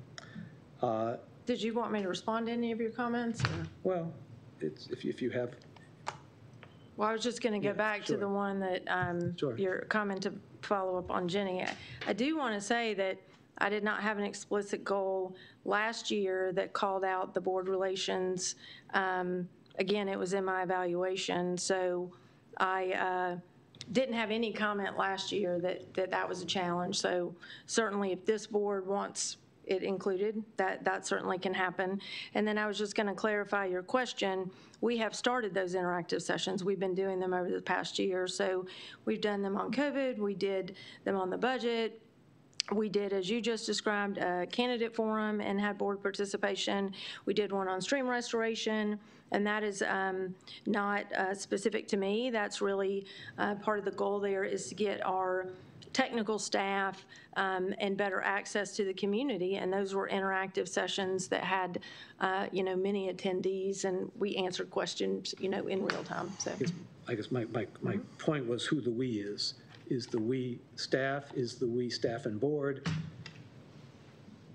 You envision those or have experienced those, and my preference would be that it be at least some combination, that the "we" is inclusive of board and staff. Uh, And the last thing, I, I love your point about purposeful use of data, and I guess I just want to put in a plug that my experience has been in the past, specifically around financial data, that we've been told, and I, I may get the words slightly wrong, that, that CA doesn't look at, for example, the, you know, we would ask things like, does Hobbit's Glen Golf Course make money or lose money? And we get told, we don't look at programs that way. Uh, At, you know, the sort of singling them out in that way. uh, or do- does sports and fitness make money or lose money? And I guess I would like to put in a plug, this is me as an individual board member talking, that that kind of data would be very useful, because for me, the, one of the guiding questions that we as a board need to be always monitoring and, and thinking about is what, what ought all residents, i.e. through the assessment, be paying for? And what ought the users of services to pay for? And how do we make those judgments and decisions? And when we don't know some of that financial performance data, it's hard to, to evaluate, to know how much the community is paying for something that might, we might think ought to be paid for by users. So, So we did that in the FY '22 budget process in, in great detail. Great. By department, and it's recorded. So we, unless this board changes the process, I would certainly expect that we would be reporting that kind of data in the next budget process. great. Any, any further questions? Sherry? Yeah, um, um, where you say expand the use of collaborative and cross-functional programs and work groups. So I know that you've, that you've done, that you've introduced a lot of that into the organization. Do you see this as being um, a continuation of that? In other words, getting more staff um, to be working on maybe things that are a little outside of their comfort zone, but expanding into other areas in, in the organization so that people are cross-training? Was that what you were? Yes, yes, so it would continue what exists now, you know, which is, you know, is a quick cross-section of events and outreach as well as encroachments. I mean, it's a wide variety. And then um, expanding to other topic areas and/or, to your point, um, the departments perhaps or the teams that are involved. Because as we've done that, we've realized, oh, wait, we have a blind spot there, we need to pull somebody in we're really focused on how early in the process, as you start to either ideate something or assess something, are all of the um, minds, but also just the idea of, you know, another set of eyes involved early so that it doesn't go down a long chain and then have to start back over again. Yeah, So, all right, that makes a lot of sense. And, and as part of that, um, have you developed or thought about developing sort of a leadership ladder? That as people expand their, their, uh, their skills and talents and abilities, um, that there is an incentive to, um, to future um, leadership for them. And that really can take place from all over the, the organization. So um, I just throw that out there because I think that would be an important thing um, to see in terms of staffing um, as we're coming out of this post-COVID period. Um, I, I think that's a great point. I, I believe that we are, have been putting a lot of that in place, um, particularly in community programs and services as well as community operations. When I reference the team structures and the positions, um, part of that actually emerged also when we did our wage compression analysis this past year as we were doing the budget and Howard County changed the minimum wage legislation. Um, So I think those component pieces have fed into making sure the positions align where people have an ability to advance. And then on the flip side, um, on the senior team, we've really been talking more about succession planning and making sure that we're identifying people and/or identifying skill gaps that, that perhaps people need to work on. So I'd, I'd also just want to suggest that, that some um, follow-up memos about some of this would be really helpful to the board, because I know that you're into the details, but at the board level, we really don't get to see too much of this, but that's a very important um, part of the goal of building up the organization again. So that would be great. And any further questions? I actually just have one question. Um, On, on your second page, you say reestablish CA as a progressive community organization. And that implies to me that we were at one point a progressive community organization and we're no longer a progressive community organization. So my question is, how do you currently uh, classify uh, CA and what exactly is meant by getting to being a progressive community organization? So I think that's more reflective of what I have heard very consistently out in the community. So um, I hear that term a lot. we were founded, we were very progressive. Um, This community was that. CA is supposed to be the steward of that vision, and CA had um, become very insular, is the characterization I hear a lot, as well as disconnected from the community. So when I think of the word progressive, what I mean by that is that we are doing things um, in service delivery to community, in engaging community, in uh, connecting community that is a best practice and is getting attention for being a place people want to be, is how I characterize it. So, so, so to basically rephrase it, basically trying to improve communications with the, with the community again. That- that'd be a No, I, I think it goes statement? back to a couple points that have been made, right? Advocacy, what we are um, putting forward as what our values are. Um, So definitely effectively communicating that when we do it, yes. Okay, thanks. Dick? There's a word for that, and that's branding. We need to improve our brand and our perception, consumer perception of our brand. Course, that implies we don't have to improve the brand, just to improve the consumer's perception So I of it. think we're doing a lot of wonderful things, but people aren't seeing it.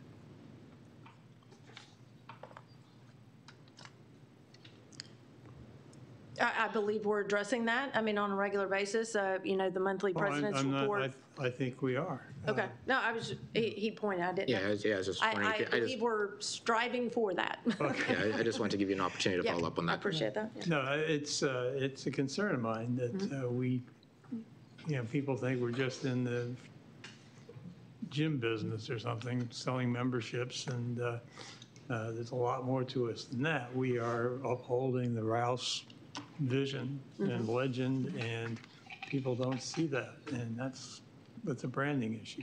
And it's, it's always a good idea to periodically re-examine what that brand should be and what that message should be. Good point. That's what's oh. on the wall right now?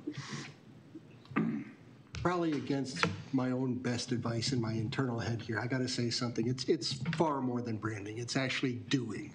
This community used to be a disruptor. It used to be a place where things were leading edge. And for a lot of, of the last few years, there's been a lot of defending of the status quo rather than setting and putting ourselves out there to be a progressive community. It's much more than branding, it's doing. I'm going to stop talking now because I'm probably going to get in trouble, so I'll just go there. Thanks. Well, that's how you support the brand, by doing. Yeah, it, it- it's, it's hard to have a brand doing nothing.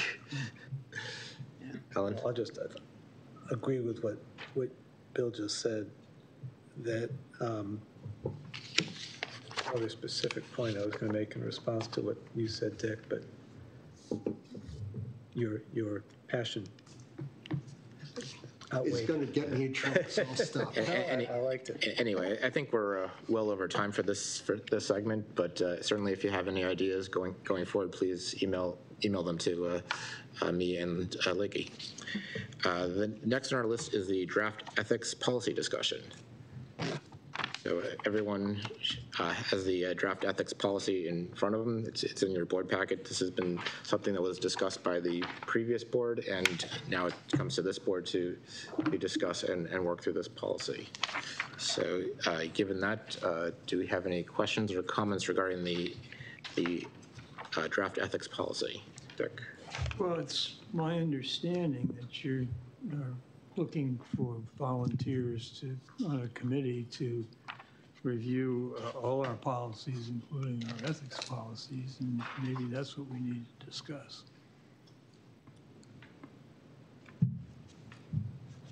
Du- Duly noted. Questions? Are there, are there any questions on the, the policy first? I, I didn't see anything radically different. In, it's a lot of it looked fairly uh, grammatical changes uh, in it, unless I was missing something. Lakey? So I, I can provide context. I- I'm happy to do that.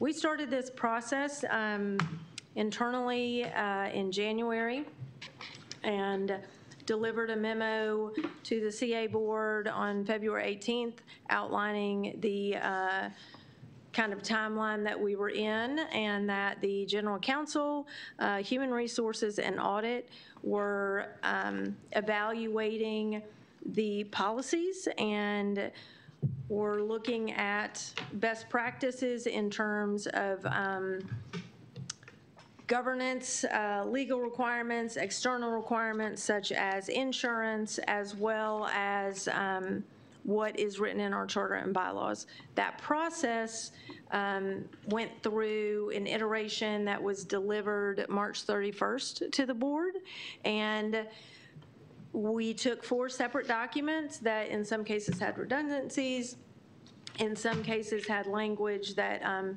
now lived in other policies and put them into one place. And that was provided to the board on March 31st. Um, I sent a very lengthy outline of how the process had occurred and then what was planned going forward. It was on two board agendas uh, because it did uh, need the two meeting reading rule.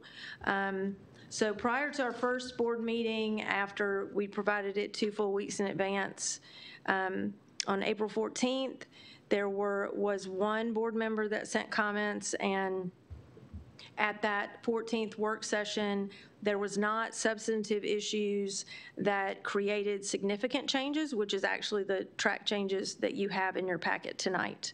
So that was posted on April 22nd.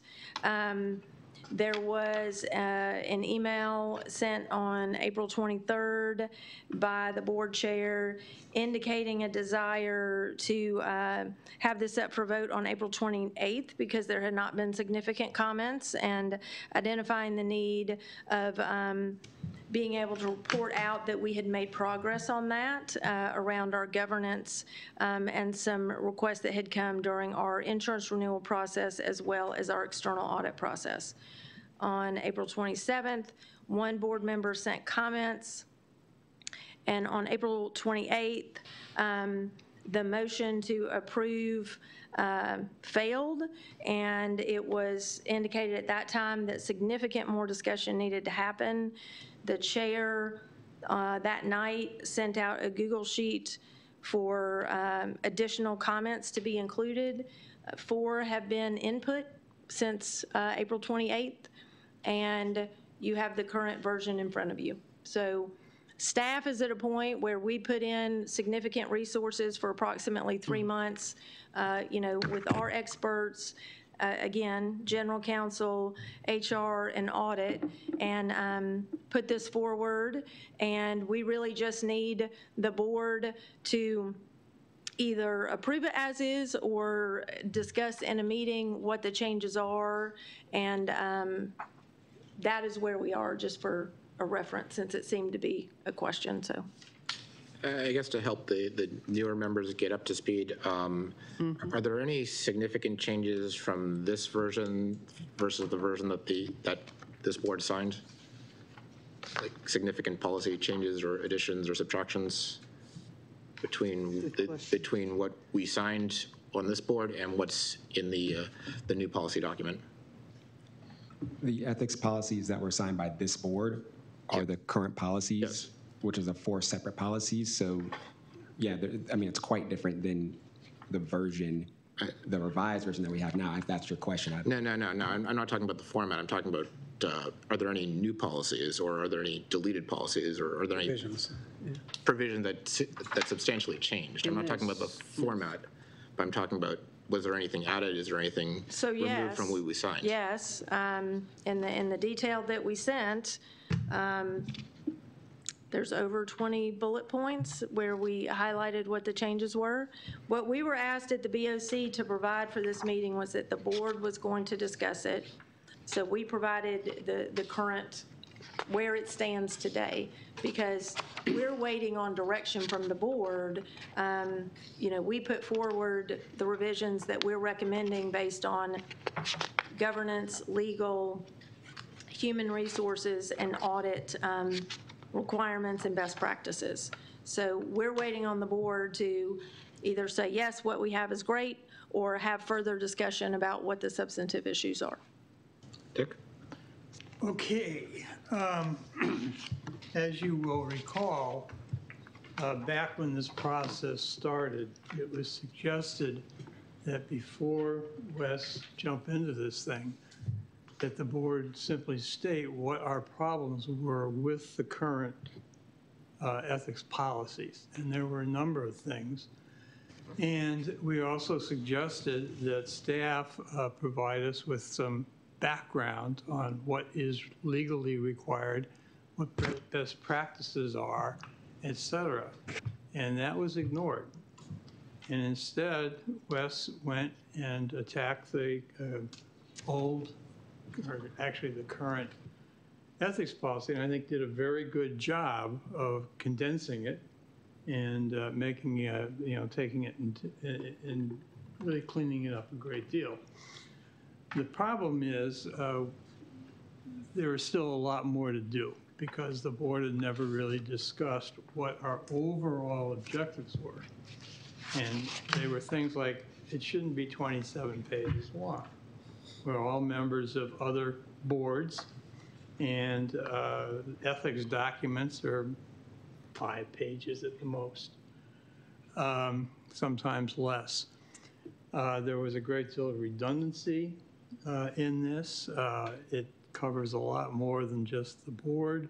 There are a lot of things. And the problem is that 10 people cannot write something. Uh, It's just 10 people trying to, trying to wordsmith and edit, and it just, it just doesn't happen. And what's been suggested is to have a small committee put together a clean, fresh document that can be presented to staff and to the board for comments. Uh, But it, and I think we can do that. We, at the same time, we are trying to make some sense out of the policy book, which is all organized by year instead of by subject. There's a lot of things that can be done that we shouldn't be wasting the board's time wordsmithing a document. It's just, you know, it's just, you got to look at these things holistically, and it's best done by a small number of people, or one or two people at the most, and then presented uh, as, as a complete document. And as I said, I think Wes did a very good head start on it, but really needs a lot of fine tuning. Are you willing to volunteer on the, on s- I have, said I have committee? had my hand up for that for months now. And I actually wrote a good piece of the old one to clean up a previous document that was even worse.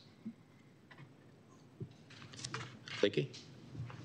Um, I, I was just going to say, in, in my experience, and as we worked on this internally as, as senior staff, um, you uh, have things like ethics policies written by your attorney and your uh, human resources expert, and in this case, we have audit, so we brought her in as well, um, and not um, the actual board members or, you know, what I would characterize as, as, uh, you know, obviously, there's a wide variety of expertise on this board, but we do not have any attorneys. Um, We do not have any directors of HR. uh, We don't have any auditors. Um, So I think that, I, I just would caution that there are external requirements from everything from when we do any kind of um, lending practice, we have to represent what's included in our ethics policies and that we abide by it. Um, What is, as I mentioned in our governance, some of the regulations that are, are state and national, given our organization. So the board member input, I agree, having 10 people wordsmith a document would not remotely be a good use of the board's time. What we were looking for is the substantive, let's strengthen this section, or let's change this procedure, and that's, um, with the exception of the, the meeting on April 14th, where there were a couple of things brought up that were not significant, we were able to quickly change, that has not come back to staff. No, it Those ha- kind of it specific hasn't pieces. because uh, we were kind of waiting to, you know, with the new board to uh, get working on this. And obviously, anything that this committee would write would be reviewed by Mm-hmm. staff. Wes would, cer- we would certainly want Wes to look at it. We would certainly want Jackie and, and uh, to look at it. Uh, and, and you, Lakey, we'd certainly want you to weigh in too. But I think what we need to do is take this a couple steps further before we uh, have a final vote on it. And the fastest way to get this done, and I want to do it as quickly as possible, would be to have a small, a small group work on it. Alan? Yeah, I can, I can certainly support that. Um, I'd also just like to extend Eric's question. If I understood your question, Eric, you asked what were the changes from the current policy to this? And I think the answer was many. And so I guess I'd like to hear from staff's point of view, without getting too hung up, too hung up on the term most, what are the five or so most significant changes besides the format and besides turning it from four documents into one, and I hear re- reducing redundancies, but changes in how ethics were done under the current policy compared to how ethics are done under uh, this proposed policy? What are some of the significant changes as you see them? Because it's hard to, I mean, I appreciate track changes, but on a PDF format, it- you can't turn off the track changes. It's just really hard to read. So what I can do is, I mean, it's over 20 bullet points. I don't think it would be appropriate for me to characterize what was significant and not, but um, I'm happy to send this total. Could I you mean, say I more about can- why that wouldn't be appropriate? I mean, so I'm asking for your professional opinion on this, or yours, or Wes's, or whoever's. Because I'm going to be honest, I was told at the Board Operations Committee that this was going to be a board discussion and staff had no role in it, that the board was going to discuss how they wanted to discuss it. That may be, but the Board Operations Committee does not speak for the whole board. The Board Operations Committee sets the agenda, so. Sherry? Yeah, I think one of the ways to break through this kind of impasse that we're at is to have this go to a small board committee that can cut through um, what some of those basic issues are and make recommendations to the full board. Um, I, I, I think that's really, at this point, um, I think that's the most effective thing that we can do to move this forward. Um, There are procedural um, issues. I have copies of the ethics policy going back to 2008, and the procedures that are embedded are very different. So, you know, trying to get this stuff together and clean it up, both from the perspective of how it looks and, and what the language sounds like so people can understand, especially those people who are coming on the board for the first time. Um, and in terms of, of setting out a procedure that people can agree on, because there were quite a number of procedural changes, let's just send it to a small committee and have them come back with recommendations. So I agree with Dick on that. So, so one thing I noticed on the agenda, we also have a board policy uh, compilation discussion, which comes next, which I'm also guessing is going to involve a small committee. So the question I have is, should that be the same committee or a different committee? Could have it be the same, I mean, I don't think it makes any difference. I think the, the, the problem is that we need to focus on a,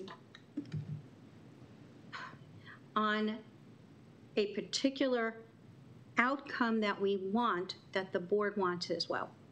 Andy? Um, okay, I'm, I'm actually hearing very different things. Um, Dick wants us to write a policy. Okay, that's what he's, he's talking, he's been talking about. Sherry, I- and I kind of like more what Sherry is saying, is that, look, the focus should be on what is it that the board wants, but not write the policy. You, you, you- I mean, there are certain issues, certain procedures you can say, well, should we do X or should we do Y? Um, And then you take that and then you bring that back. Um, But you let staff draft the actual policy because we do not have the experience. And the other thing you have to think too is this isn't just the board. And that, and that's the part of the problem. I mean, this is for the entire organization. Okay, this policy does not just simply apply to the board. This is the entire policy for all, everybody in the organization. And although we may have a focus on, let's say, the, the board part of it, it, it affects staff, it affects the team members, and we absolutely don't have that kind of expertise. And what I think we need to do is focus more on, I'll say, some of the major issues and figure out, but let the professionals write the policy. Dick? Well, uh, first of all, uh, I am a professional, and I have written things like this, and you and I have worked together. I on- know, on but you're things not a lawyer. And I, as I said, whatever the, whatever this committee would put together would go to Wes for review. I'm talking about style and, and the, the way it's done. And as far as this being for the entire organization, no, there was a, when, when we started out, this, this was, we had one for the entire organization, we had one for senior staff, we had one for senior staff and the board, we had something from the board. And Wes did do a very good job of tying those all together. What we're talking about right now is an ethical policy for the board that is specific to the board. And uh, I'm not going to get into ethic policies for the whole organization. That's a HR problem as far as I'm concerned. Bill? Uh, Two quick items. First of all, I, I- I think as far as the entire organization is concerned, I really think that that ought to be handled through the audit committee, and they should uh, take input from the, the folks in audit, and then take a look at it, and then send it to the board for an up or down vote for the rest of the, the, the company. Should be written through audit. Um, The board there should review it and then bring it up here, there's some people with real expertise there. Um, My two cents on that. Second, thi- and then the rest of the policy should be written for directors and officers, and that should be handled by professionals, and then the board should be dealing with that itself, the, the, uh, this body. Um, That being said, I think we're at a point right now where we either have to state what our inputs are for what this policy should be, or we should state what the final product should look like. You can't do both on this. I'm hearing both sides of that. We either need to clearly state what the input should be and then allow it to be written, or we should say, this is what it should look like at the end, and then have it be, grow into that. Jenny? Yeah, um, it's, at least from a few people, it sounds like what I'm hearing is this board should simply be writing a ethics policy for this board. No, Please don't, I, I didn't say that we should be writing it. No, What no, I'm no, saying I, is- I- thi- this, whatever we do should really only uh, impact th- the CA Board of Directors. And we will just only re- deal with that. Is that what I'm hearing? I think I'm hearing from some people. Not what I said. Janet? Oh. oh, Shouldn't we be held to the same ethical standards as the organization? I mean, I'm confused why they would differ. They're fairly Because our rule basic. differs. Oh. it'd be briefer for one. Bill and Dick.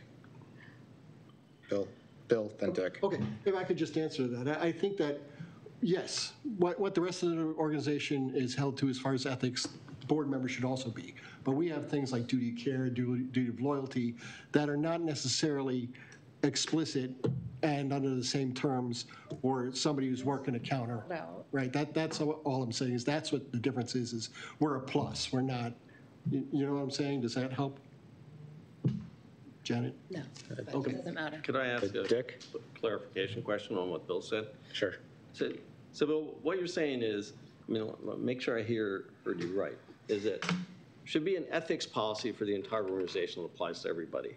And then there should be a separate one which covers these other circumstances that occur with the board of directors. But everybody in the board of directors should still be subject to the organizational policy. I mean, so, so in essence, you're looking at like a policy for the organization and then a supplement for the board of directors. Is that? Isn't that what this is? Yeah, though? It that's pretty much has what this is. Board of Okay, directors, just one. senior management and board of directors, ethics policy. Well, I mean, it's pretty And I was just trying to clearly get laid out. clarification if that's what Bill was, was Dick? kind of Or alluding Sherry? to.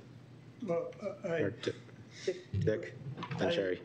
would certainly think that there are certain basic ethical considerations.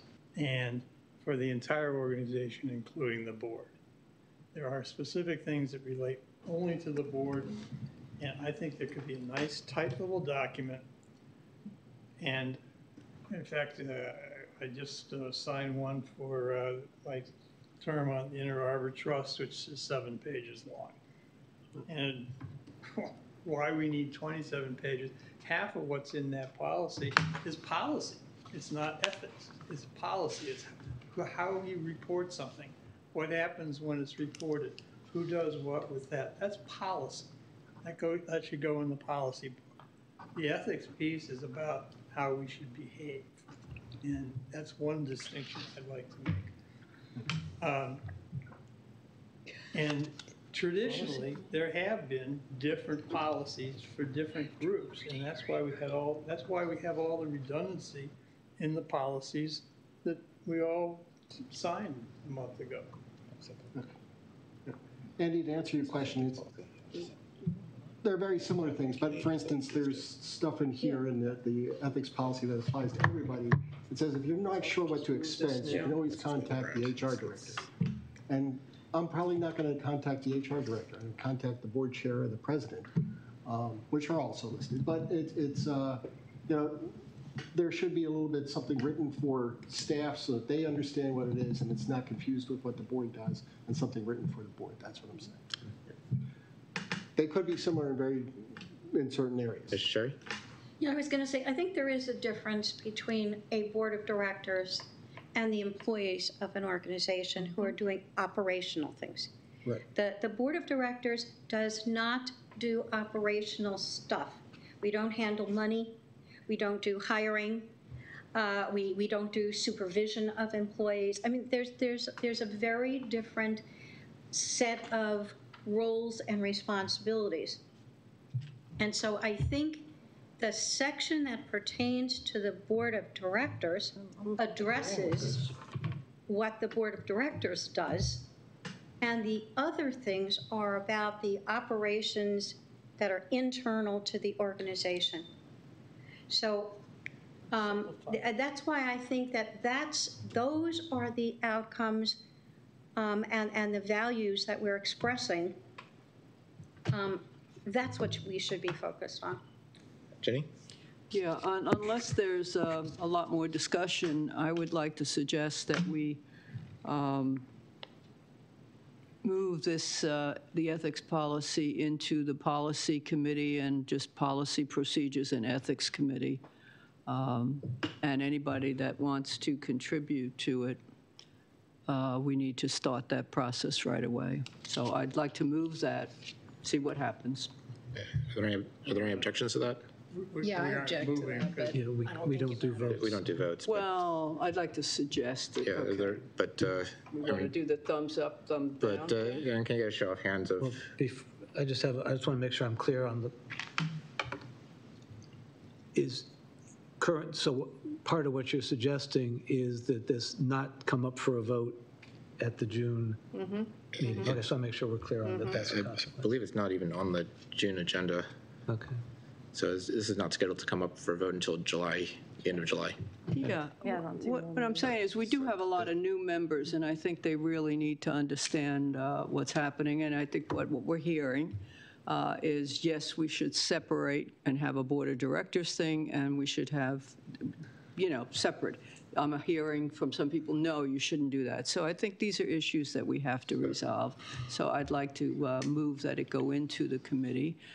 And certainly, every board member can go to the board committee, have a say. Also, staff, we're going to need to be working closely with staff. I think we've all agreed to that. Uh, But we also need to get some draft we can get back to the board and see if those concepts are even something they agree to before we take a lot of staff time in terms of making it a legal document, is just my suggestions. So, So so, that we can move on, because Yeah, I think we pretty well discussed this uh, yeah, so um, I do want to move on from this. I'll I'll let you get the final. Can I just clarify one thing before Yeah. you make a motion? Um, Uh, No motion. There's no motion, there's no motion on the table.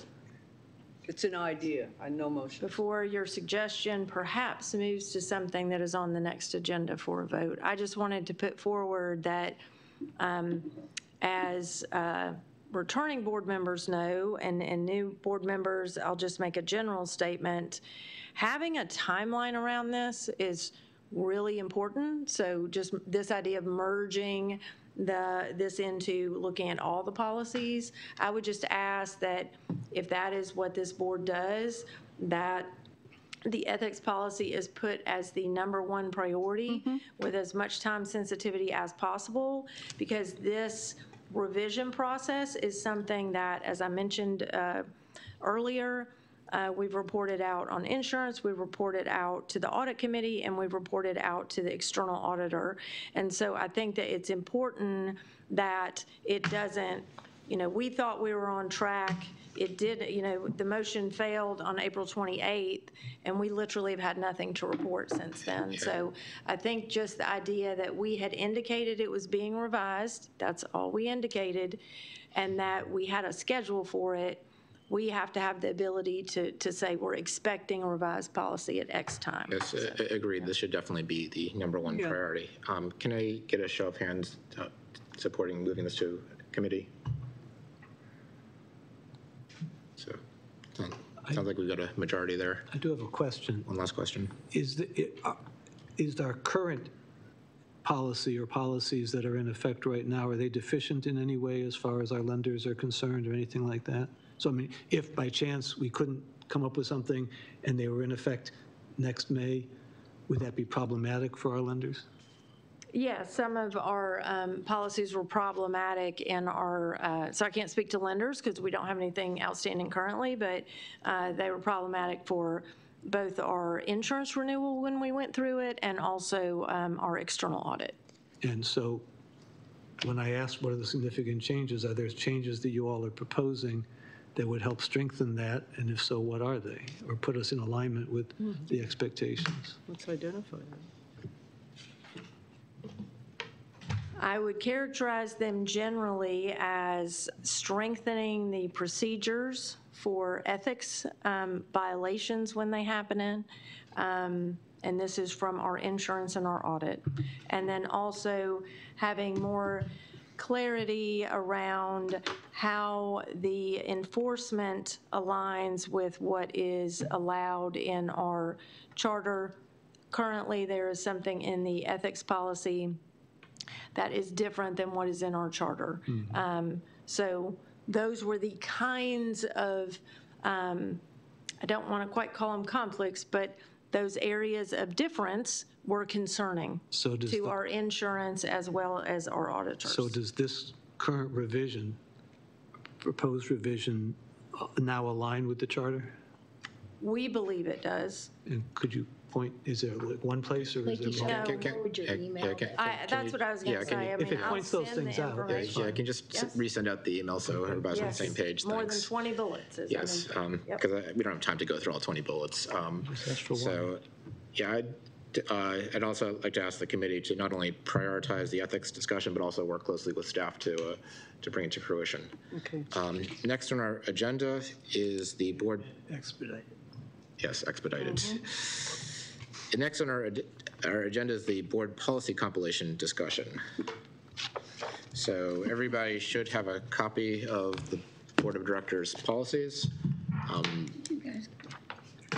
If everybody doesn't have a copy, please let myself and and Lakey know, and we will make sure you get a copy. Um, The, the current policy book is organized by year, and there's been uh, um, some talk about trying to update the, uh, the policy book and, and look for ways to improve it, and also look for any uh, possible contradictions. Um, Are there any discussions about uh, this topic, Dick? Well, I would suggest that the first thing we do is go through them not by year, but by subject matter.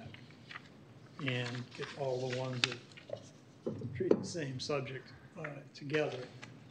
And then we're gonna have to look for redundancies and contradictions and point those out, because then the board has to decide what the actual policies are going to be. Uh, We would end up with you know, a vote on various policies wherever there are contradictions. A- Any other comments? I have a question. Good question. Um, In the past, several years in the past. Uh, One could go to the website and click on Board of Directors or whatever leadership, and, and one, and there was like a, it was almost random order listing of policies. That got taken down at maybe two, two website revisions ago. Is the policy book as it stands now, either in whole or in the various pieces, is that information available online or is it only available um, in that book? Um, So it is not currently on the website, um, particularly since these are board-related policies.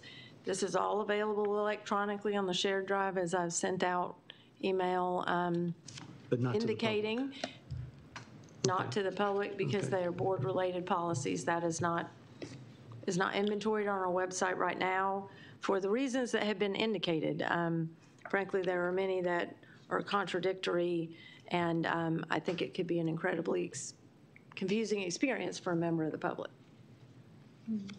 Janet? Uh, I thought we had a subcommittee that was going to work through. this. Yes. So I'm not clear what we're discussing right now. I mean, I thought the whole point of a Yeah, subcommittee was the- to the- take yes, it away so the- the the board whole- doesn't the whole- discuss it and bring yeah. back recommendations. Yes, that, that, that's the point. So we've got, we've got a subcommittee. I do ask the subcommittee to have this secondary to the, the ethics policy. Um, Assuming there's no further discussion or direction for the subcommittee. um, Well, I've got a question for staff.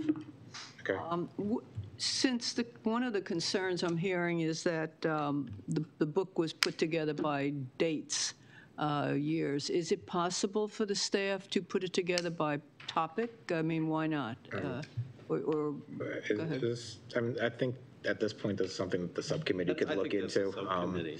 let- Let's, Yeah, let's, we've let's, gotta do the let's, uh, let's let the subcommittee to take care of this. Um, We have to decide what the topics. Yeah, y- yeah, that's, that's, that's all the role for the subcommittee.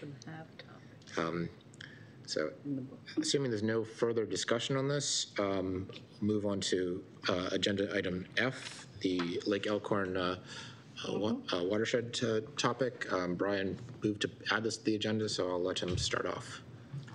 Yes, well, as we heard this evening, there was a number of different issues, and I got, some- I think one of the things, we- you know, we started to have tours, so we're, we're trying to get educated on what's going on with the watershed, and I think we're all in different levels. And um, one of the things I, I, I thought was, you saw I responded to Andy, uh, his characterization, there's two parts to it. Um, I, I'd like really to discuss that. I mean, we had, it's important that we do both parts. You can't do one without the other. I think as we've seen, you know, when we get a massive storm, there can be a real big issue if we haven't uh, actually addressed this water in, that's actually coming down.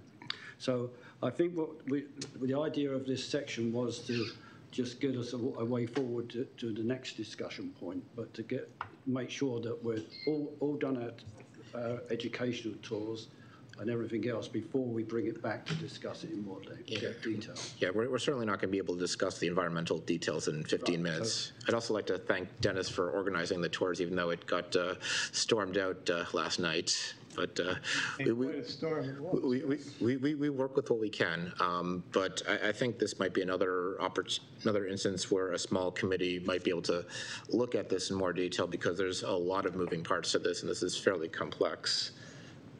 Uh, I just want to say that to date, I have not made up my mind on any of this. I'm really looking for more information. I am too. All our, we're getting a lot of contradictory information. And so it's, I think the education piece of this is, as Brian pointed out, is the critical piece. Yeah, there's, another point. It's been characterized as for and against. This is not a for and against thing. You know, it's, it's about understanding the problem and fixing the problem. But, but we can't uh, do that until, and understand that until we really get educated. Yeah, it, it's hard to be for against something when you have like a quarter of the details. Right.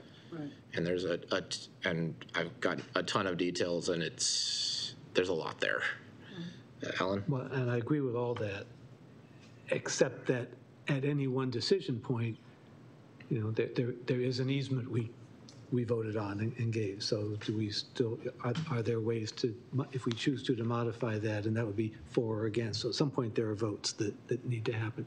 The, the other piece I would just add is for me that I want to make sure we learn about is more about timing, because, you know, some people say something's going to happen the end of the summer. Other people say this is years away. Uh, There's, th- th- all those things may be true, but I'd want to understand what's happening by the end of the summer and what are the implications of that uh, for us and, and the project and then, and so on. Because historically, and it's happened over and over again, uh, we get, in we, meaning the board, get informed about an issue only to find out that the decision point is next week, and we don't have uh, time to make, to really get up to speed, be reasonable and rational about it, and, uh, and make a, a clear decision. We heard an example of that tonight in terms of this uh, Lakeview thing, so it's, we don't have any time to respond if it's decision being made in a week. Um, On the one hand, we, uh, we were in favor of something that's apparently not happening. Do we press it? How do we make a decision about that? We can't do it because we only have a week's notice. Yeah, de- Definitely being proactive on something that's this time sensitive is, is important. Um, And in, in those lines, having a, uh, a, a small committee look into it and research this and get the timelines right and get all the details and I think is, would really help meet that timeline. Um, So I'm, so I would like, I'd I'd be willing to be part of that. yes, uh, Sherry? Yeah, um, I, I think that the first step, um, with doing boots on the ground and actually getting a visual was, was very, very important. So regardless of the rain, we'll try, try again.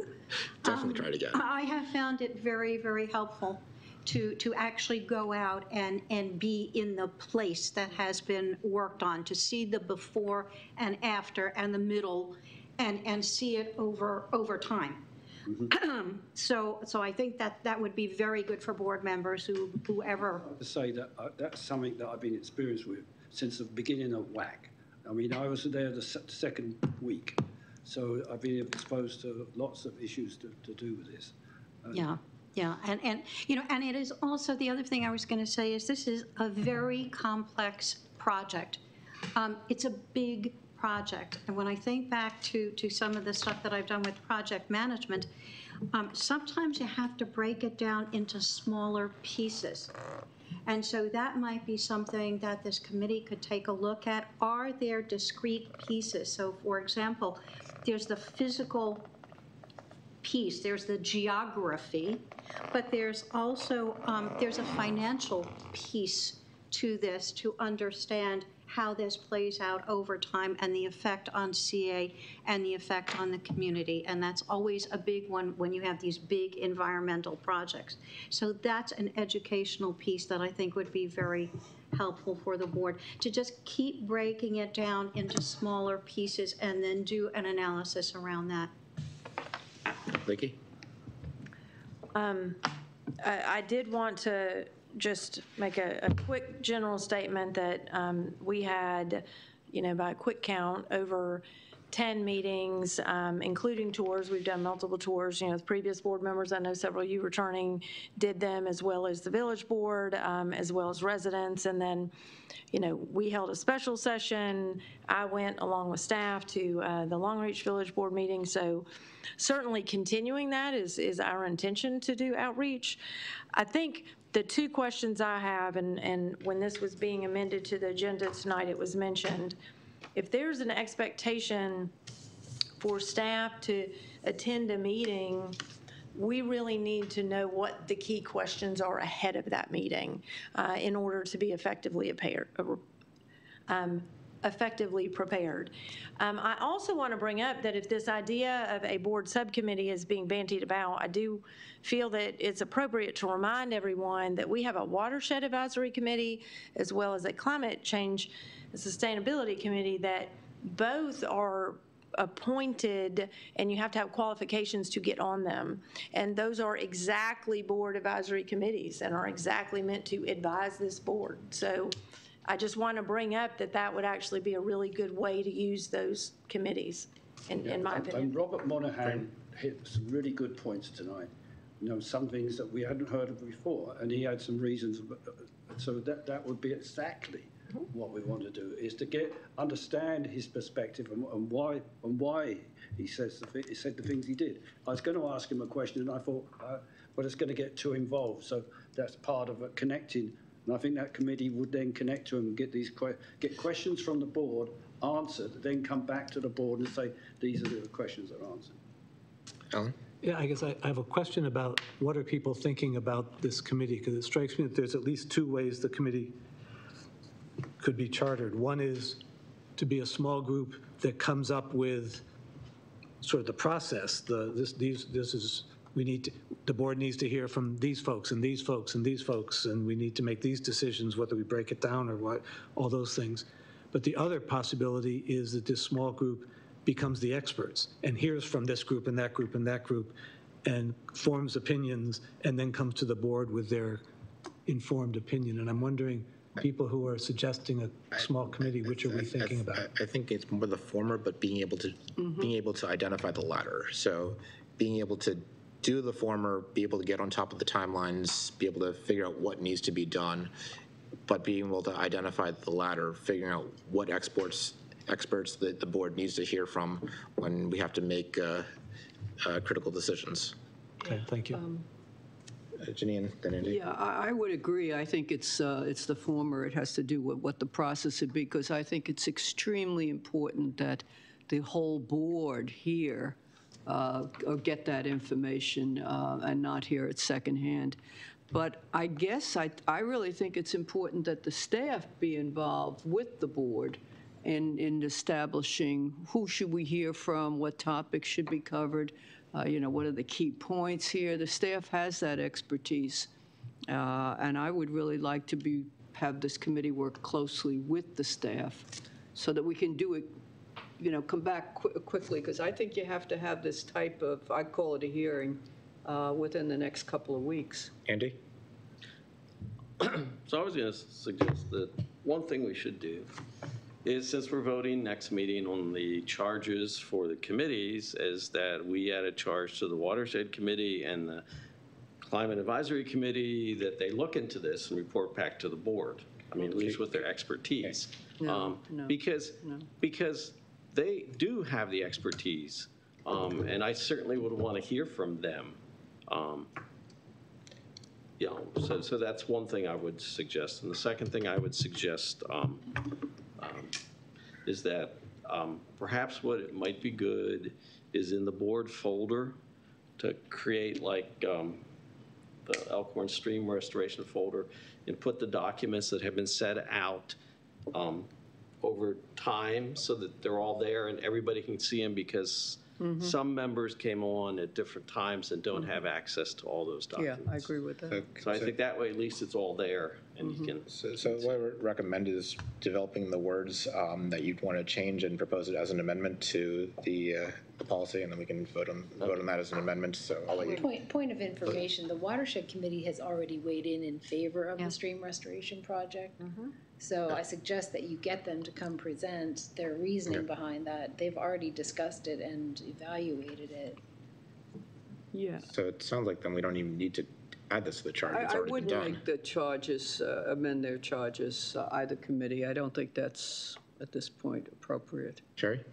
Yeah, I was just going to We'll say, you lose know, the time. staff has done a tremendous amount of work over time and developed all kinds of public materials um, and, and has, has uh, uh, gone out to, to lots of different places in the community. Let's gather that together and put it in one place. Um, and then our, our newer board members have a place that they can go to. That's, that's the resource. Um, you know, this, this was why we were always talking about a searchable database, because the, the watershed issues go back much further than just this, this one issue. There have been other projects as well. So There, there is a continuum here. Um, So at least confine uh, uh, that material that's already been developed and then I, I think we can, I think the idea of using the advisory boards, having, having people come in to talk about, um, you know, what their backgrounds are and why they think the way they do would also be very useful, but I don't think we need to take up more staff time with this at this point. Okay. Any further discussion on this? So can I just, I'm, I'm sorry, can I just recap? So certainly we can get all the documents in one place and, and I'll include in that, we have a stream restoration webpage that has multiple documents and videos of our recorded information session where we answered questions on this project. So I'll, I'll be sure to include that link as well. Um, But at this time, there is nothing further than compiling the documentation that the staff is answering specific questions. I just want to make sure I'm hearing that correctly. Yes, that's. Okay. That's the way I understand it. Thank you. Except the staff is still going to do the tour. Yes, this- we, we still, we we still Thank get the you. tour. We will still do We- the we- We still get the tour. Yes, yes. And again, we had done them and, you know, we're like, we need to do these again. And I would, I would hope that in all this information, there is some kind of a timeline of decision points. Uh, that We're hearing decisions are being made at various points. I don't think just know what's there? being decided when. Or let the, let the committee. That's what the, that's what the, com- that's what the, that's what the committee, need- that's what the committee needs to map out. That's one out. of the most important questions. That's, that's the right? key thing. Just cutting through all the committees and all this, can we just get someone to pick up the phone, call MDE and say, when do you anticipate to make a decision, or when do you anticipate to get the, these answers back, and what's your timeline? Because that would be a huge help, and we wouldn't all be wondering when the next thing was going to happen. They're the people who are going to make the next step. Can't we just get somebody to call them and get an answer? Is that possible? Well, there- actually, there's several, There, there, there's, several groups that are all yeah, it's, making it's, decisions. yeah, it's, I think it's more complicated than that. MDE sent the 11-page letter. Yes. They're waiting for responses, which will take some time to do. And then after they analyze those answers, they will th- make the next step. We could make a phone call and find out what the timeline is for that, and that would But it's the provide Army a lot Corps of of information. Engineers.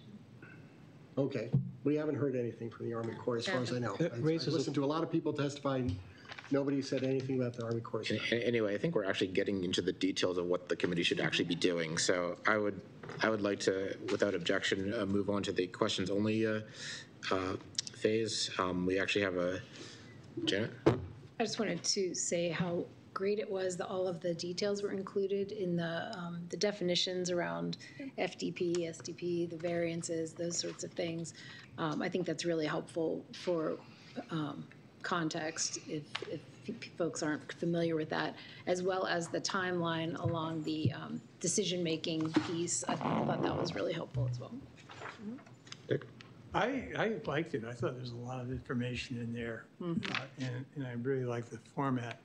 What I do miss, though, is that we used to have a lot more information about, you know, other projects. And I, don't- I actually read that thing all the time to see what's going on. For example, in my village, uh, there's stuff that's sitting back in the, in the, bru- in the brush that, you know, I wanted to know about. But, uh, yeah, I really like the new format, very informative. Brian? Yeah, the- what- I think what you're talking about is the chart, which Yeah, I yeah, the- I- the I want to database. say, I- I've used that for years, and it's been very good because it gives you the heads up what's going on. It- it- No. It's really So very it's- important. So I- why was that removed? It doesn't Well, make I any sense. I guess, I guess the question is, can the chart be added back in? Yeah, we want it back in, yeah. Yeah. So as I indicated previously, that when we were working on revamping this, um, this would actually be an example of how we're trying to move into more of an educational resource and advocacy position, and not just looking at very specific developments. Um, The answer is frankly um, bandwidth and um, staff resources. So in terms of what we need to allocate resources to, what we have found is that when Jessica Bella, who is the, the lead at putting this together, spends time, which she often does, explaining to people how to look things up, they then are empowered to do it. And so the description of how you look up those very specific cases is included in this document. So um, that is something that I think uh, the feedback that we have gotten is that uh, providing the ability to access that information, particularly giving um, that there are uh, a a wide variety of developments that are going on, um, that that was the way that we were trying to ensure that we're doing um, really smart and responsible resource allocation. So um, again, the accessibility of how to get that information is detailed. And, and again, I, I really like, I, re- I really like the additional information in here and the additional, uh, and the formatting, because it it definitely helps you learn more about the process. Brian? Yeah, one of the things I've been asking, and of course in my emails to you, I've been asking is to make clear what the role of the CA is in development, and it's been hit and miss. So in here, I think it should be very clear what your role is. When do you give comments, like with Lakeview or with um, the other Woodmere? So it's, it's, I think it's really critical that you have something that's, the process is clear, not just for residents, it's more important for developers or someone that owns a piece of land. They need to know when does a CA get involved because that's been hit and miss, and and then what the process is. And that, that's it. Yeah, well, I want to sort of add on to that, because one way, maybe not, probably not the only way, but one way that CA gets involved is when the board says, we want to get involved, and we make a, a decision to take a position one way or another on a particular uh, development issue. But the tracker has been helpful to an extent around that, but what's really been helpful is when staff takes an advocacy point of view and informs us and says, hey, this is coming up.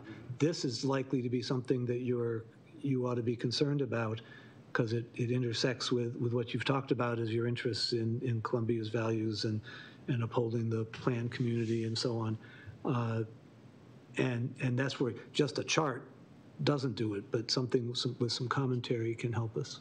Yeah, and that's one of, the other thing is, we talk about DPZ and everything, and I, I communicated with you, Lakey, about the fact that DPZ is working with organisations, and they've added back in th- th- this hot concept that things have to go to the DAP board, which is going to make a big difference, and this is, this is going to make it so that you, we don't have to get quite so involved in this development, and it'd be much more proactive, But so you don't have staff up to 10, 10:30, or even 11 o'clock at night waiting to give testimony.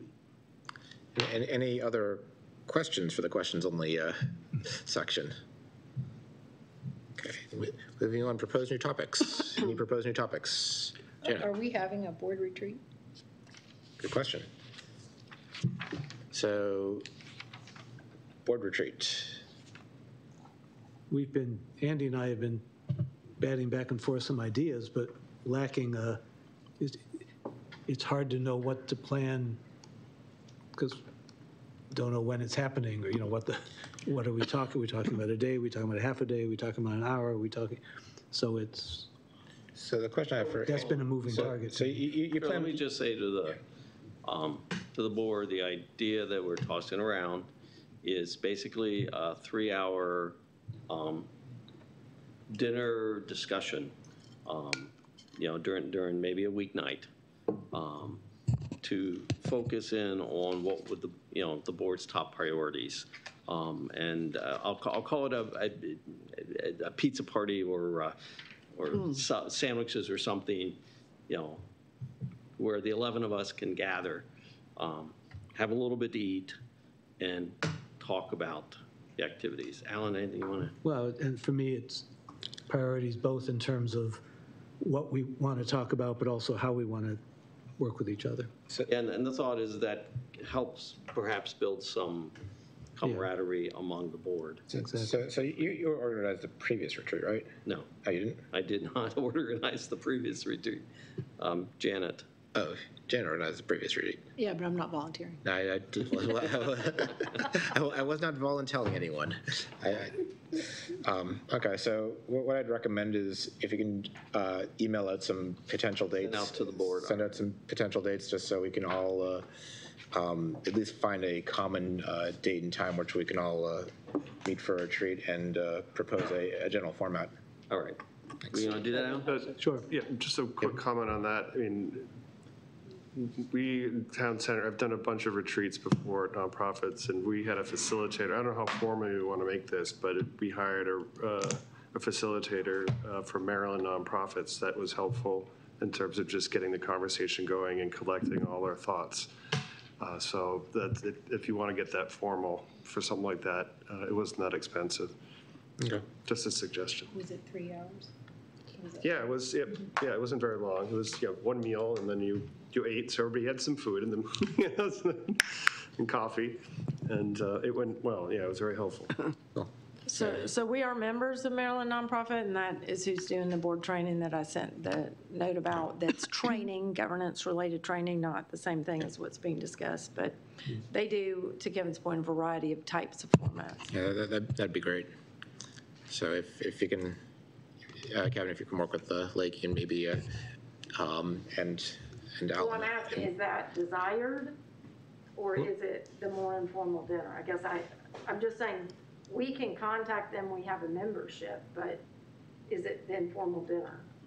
I think among us, we have the resources to self-facilitate this, this puppy. For three hours, I think we can handle it.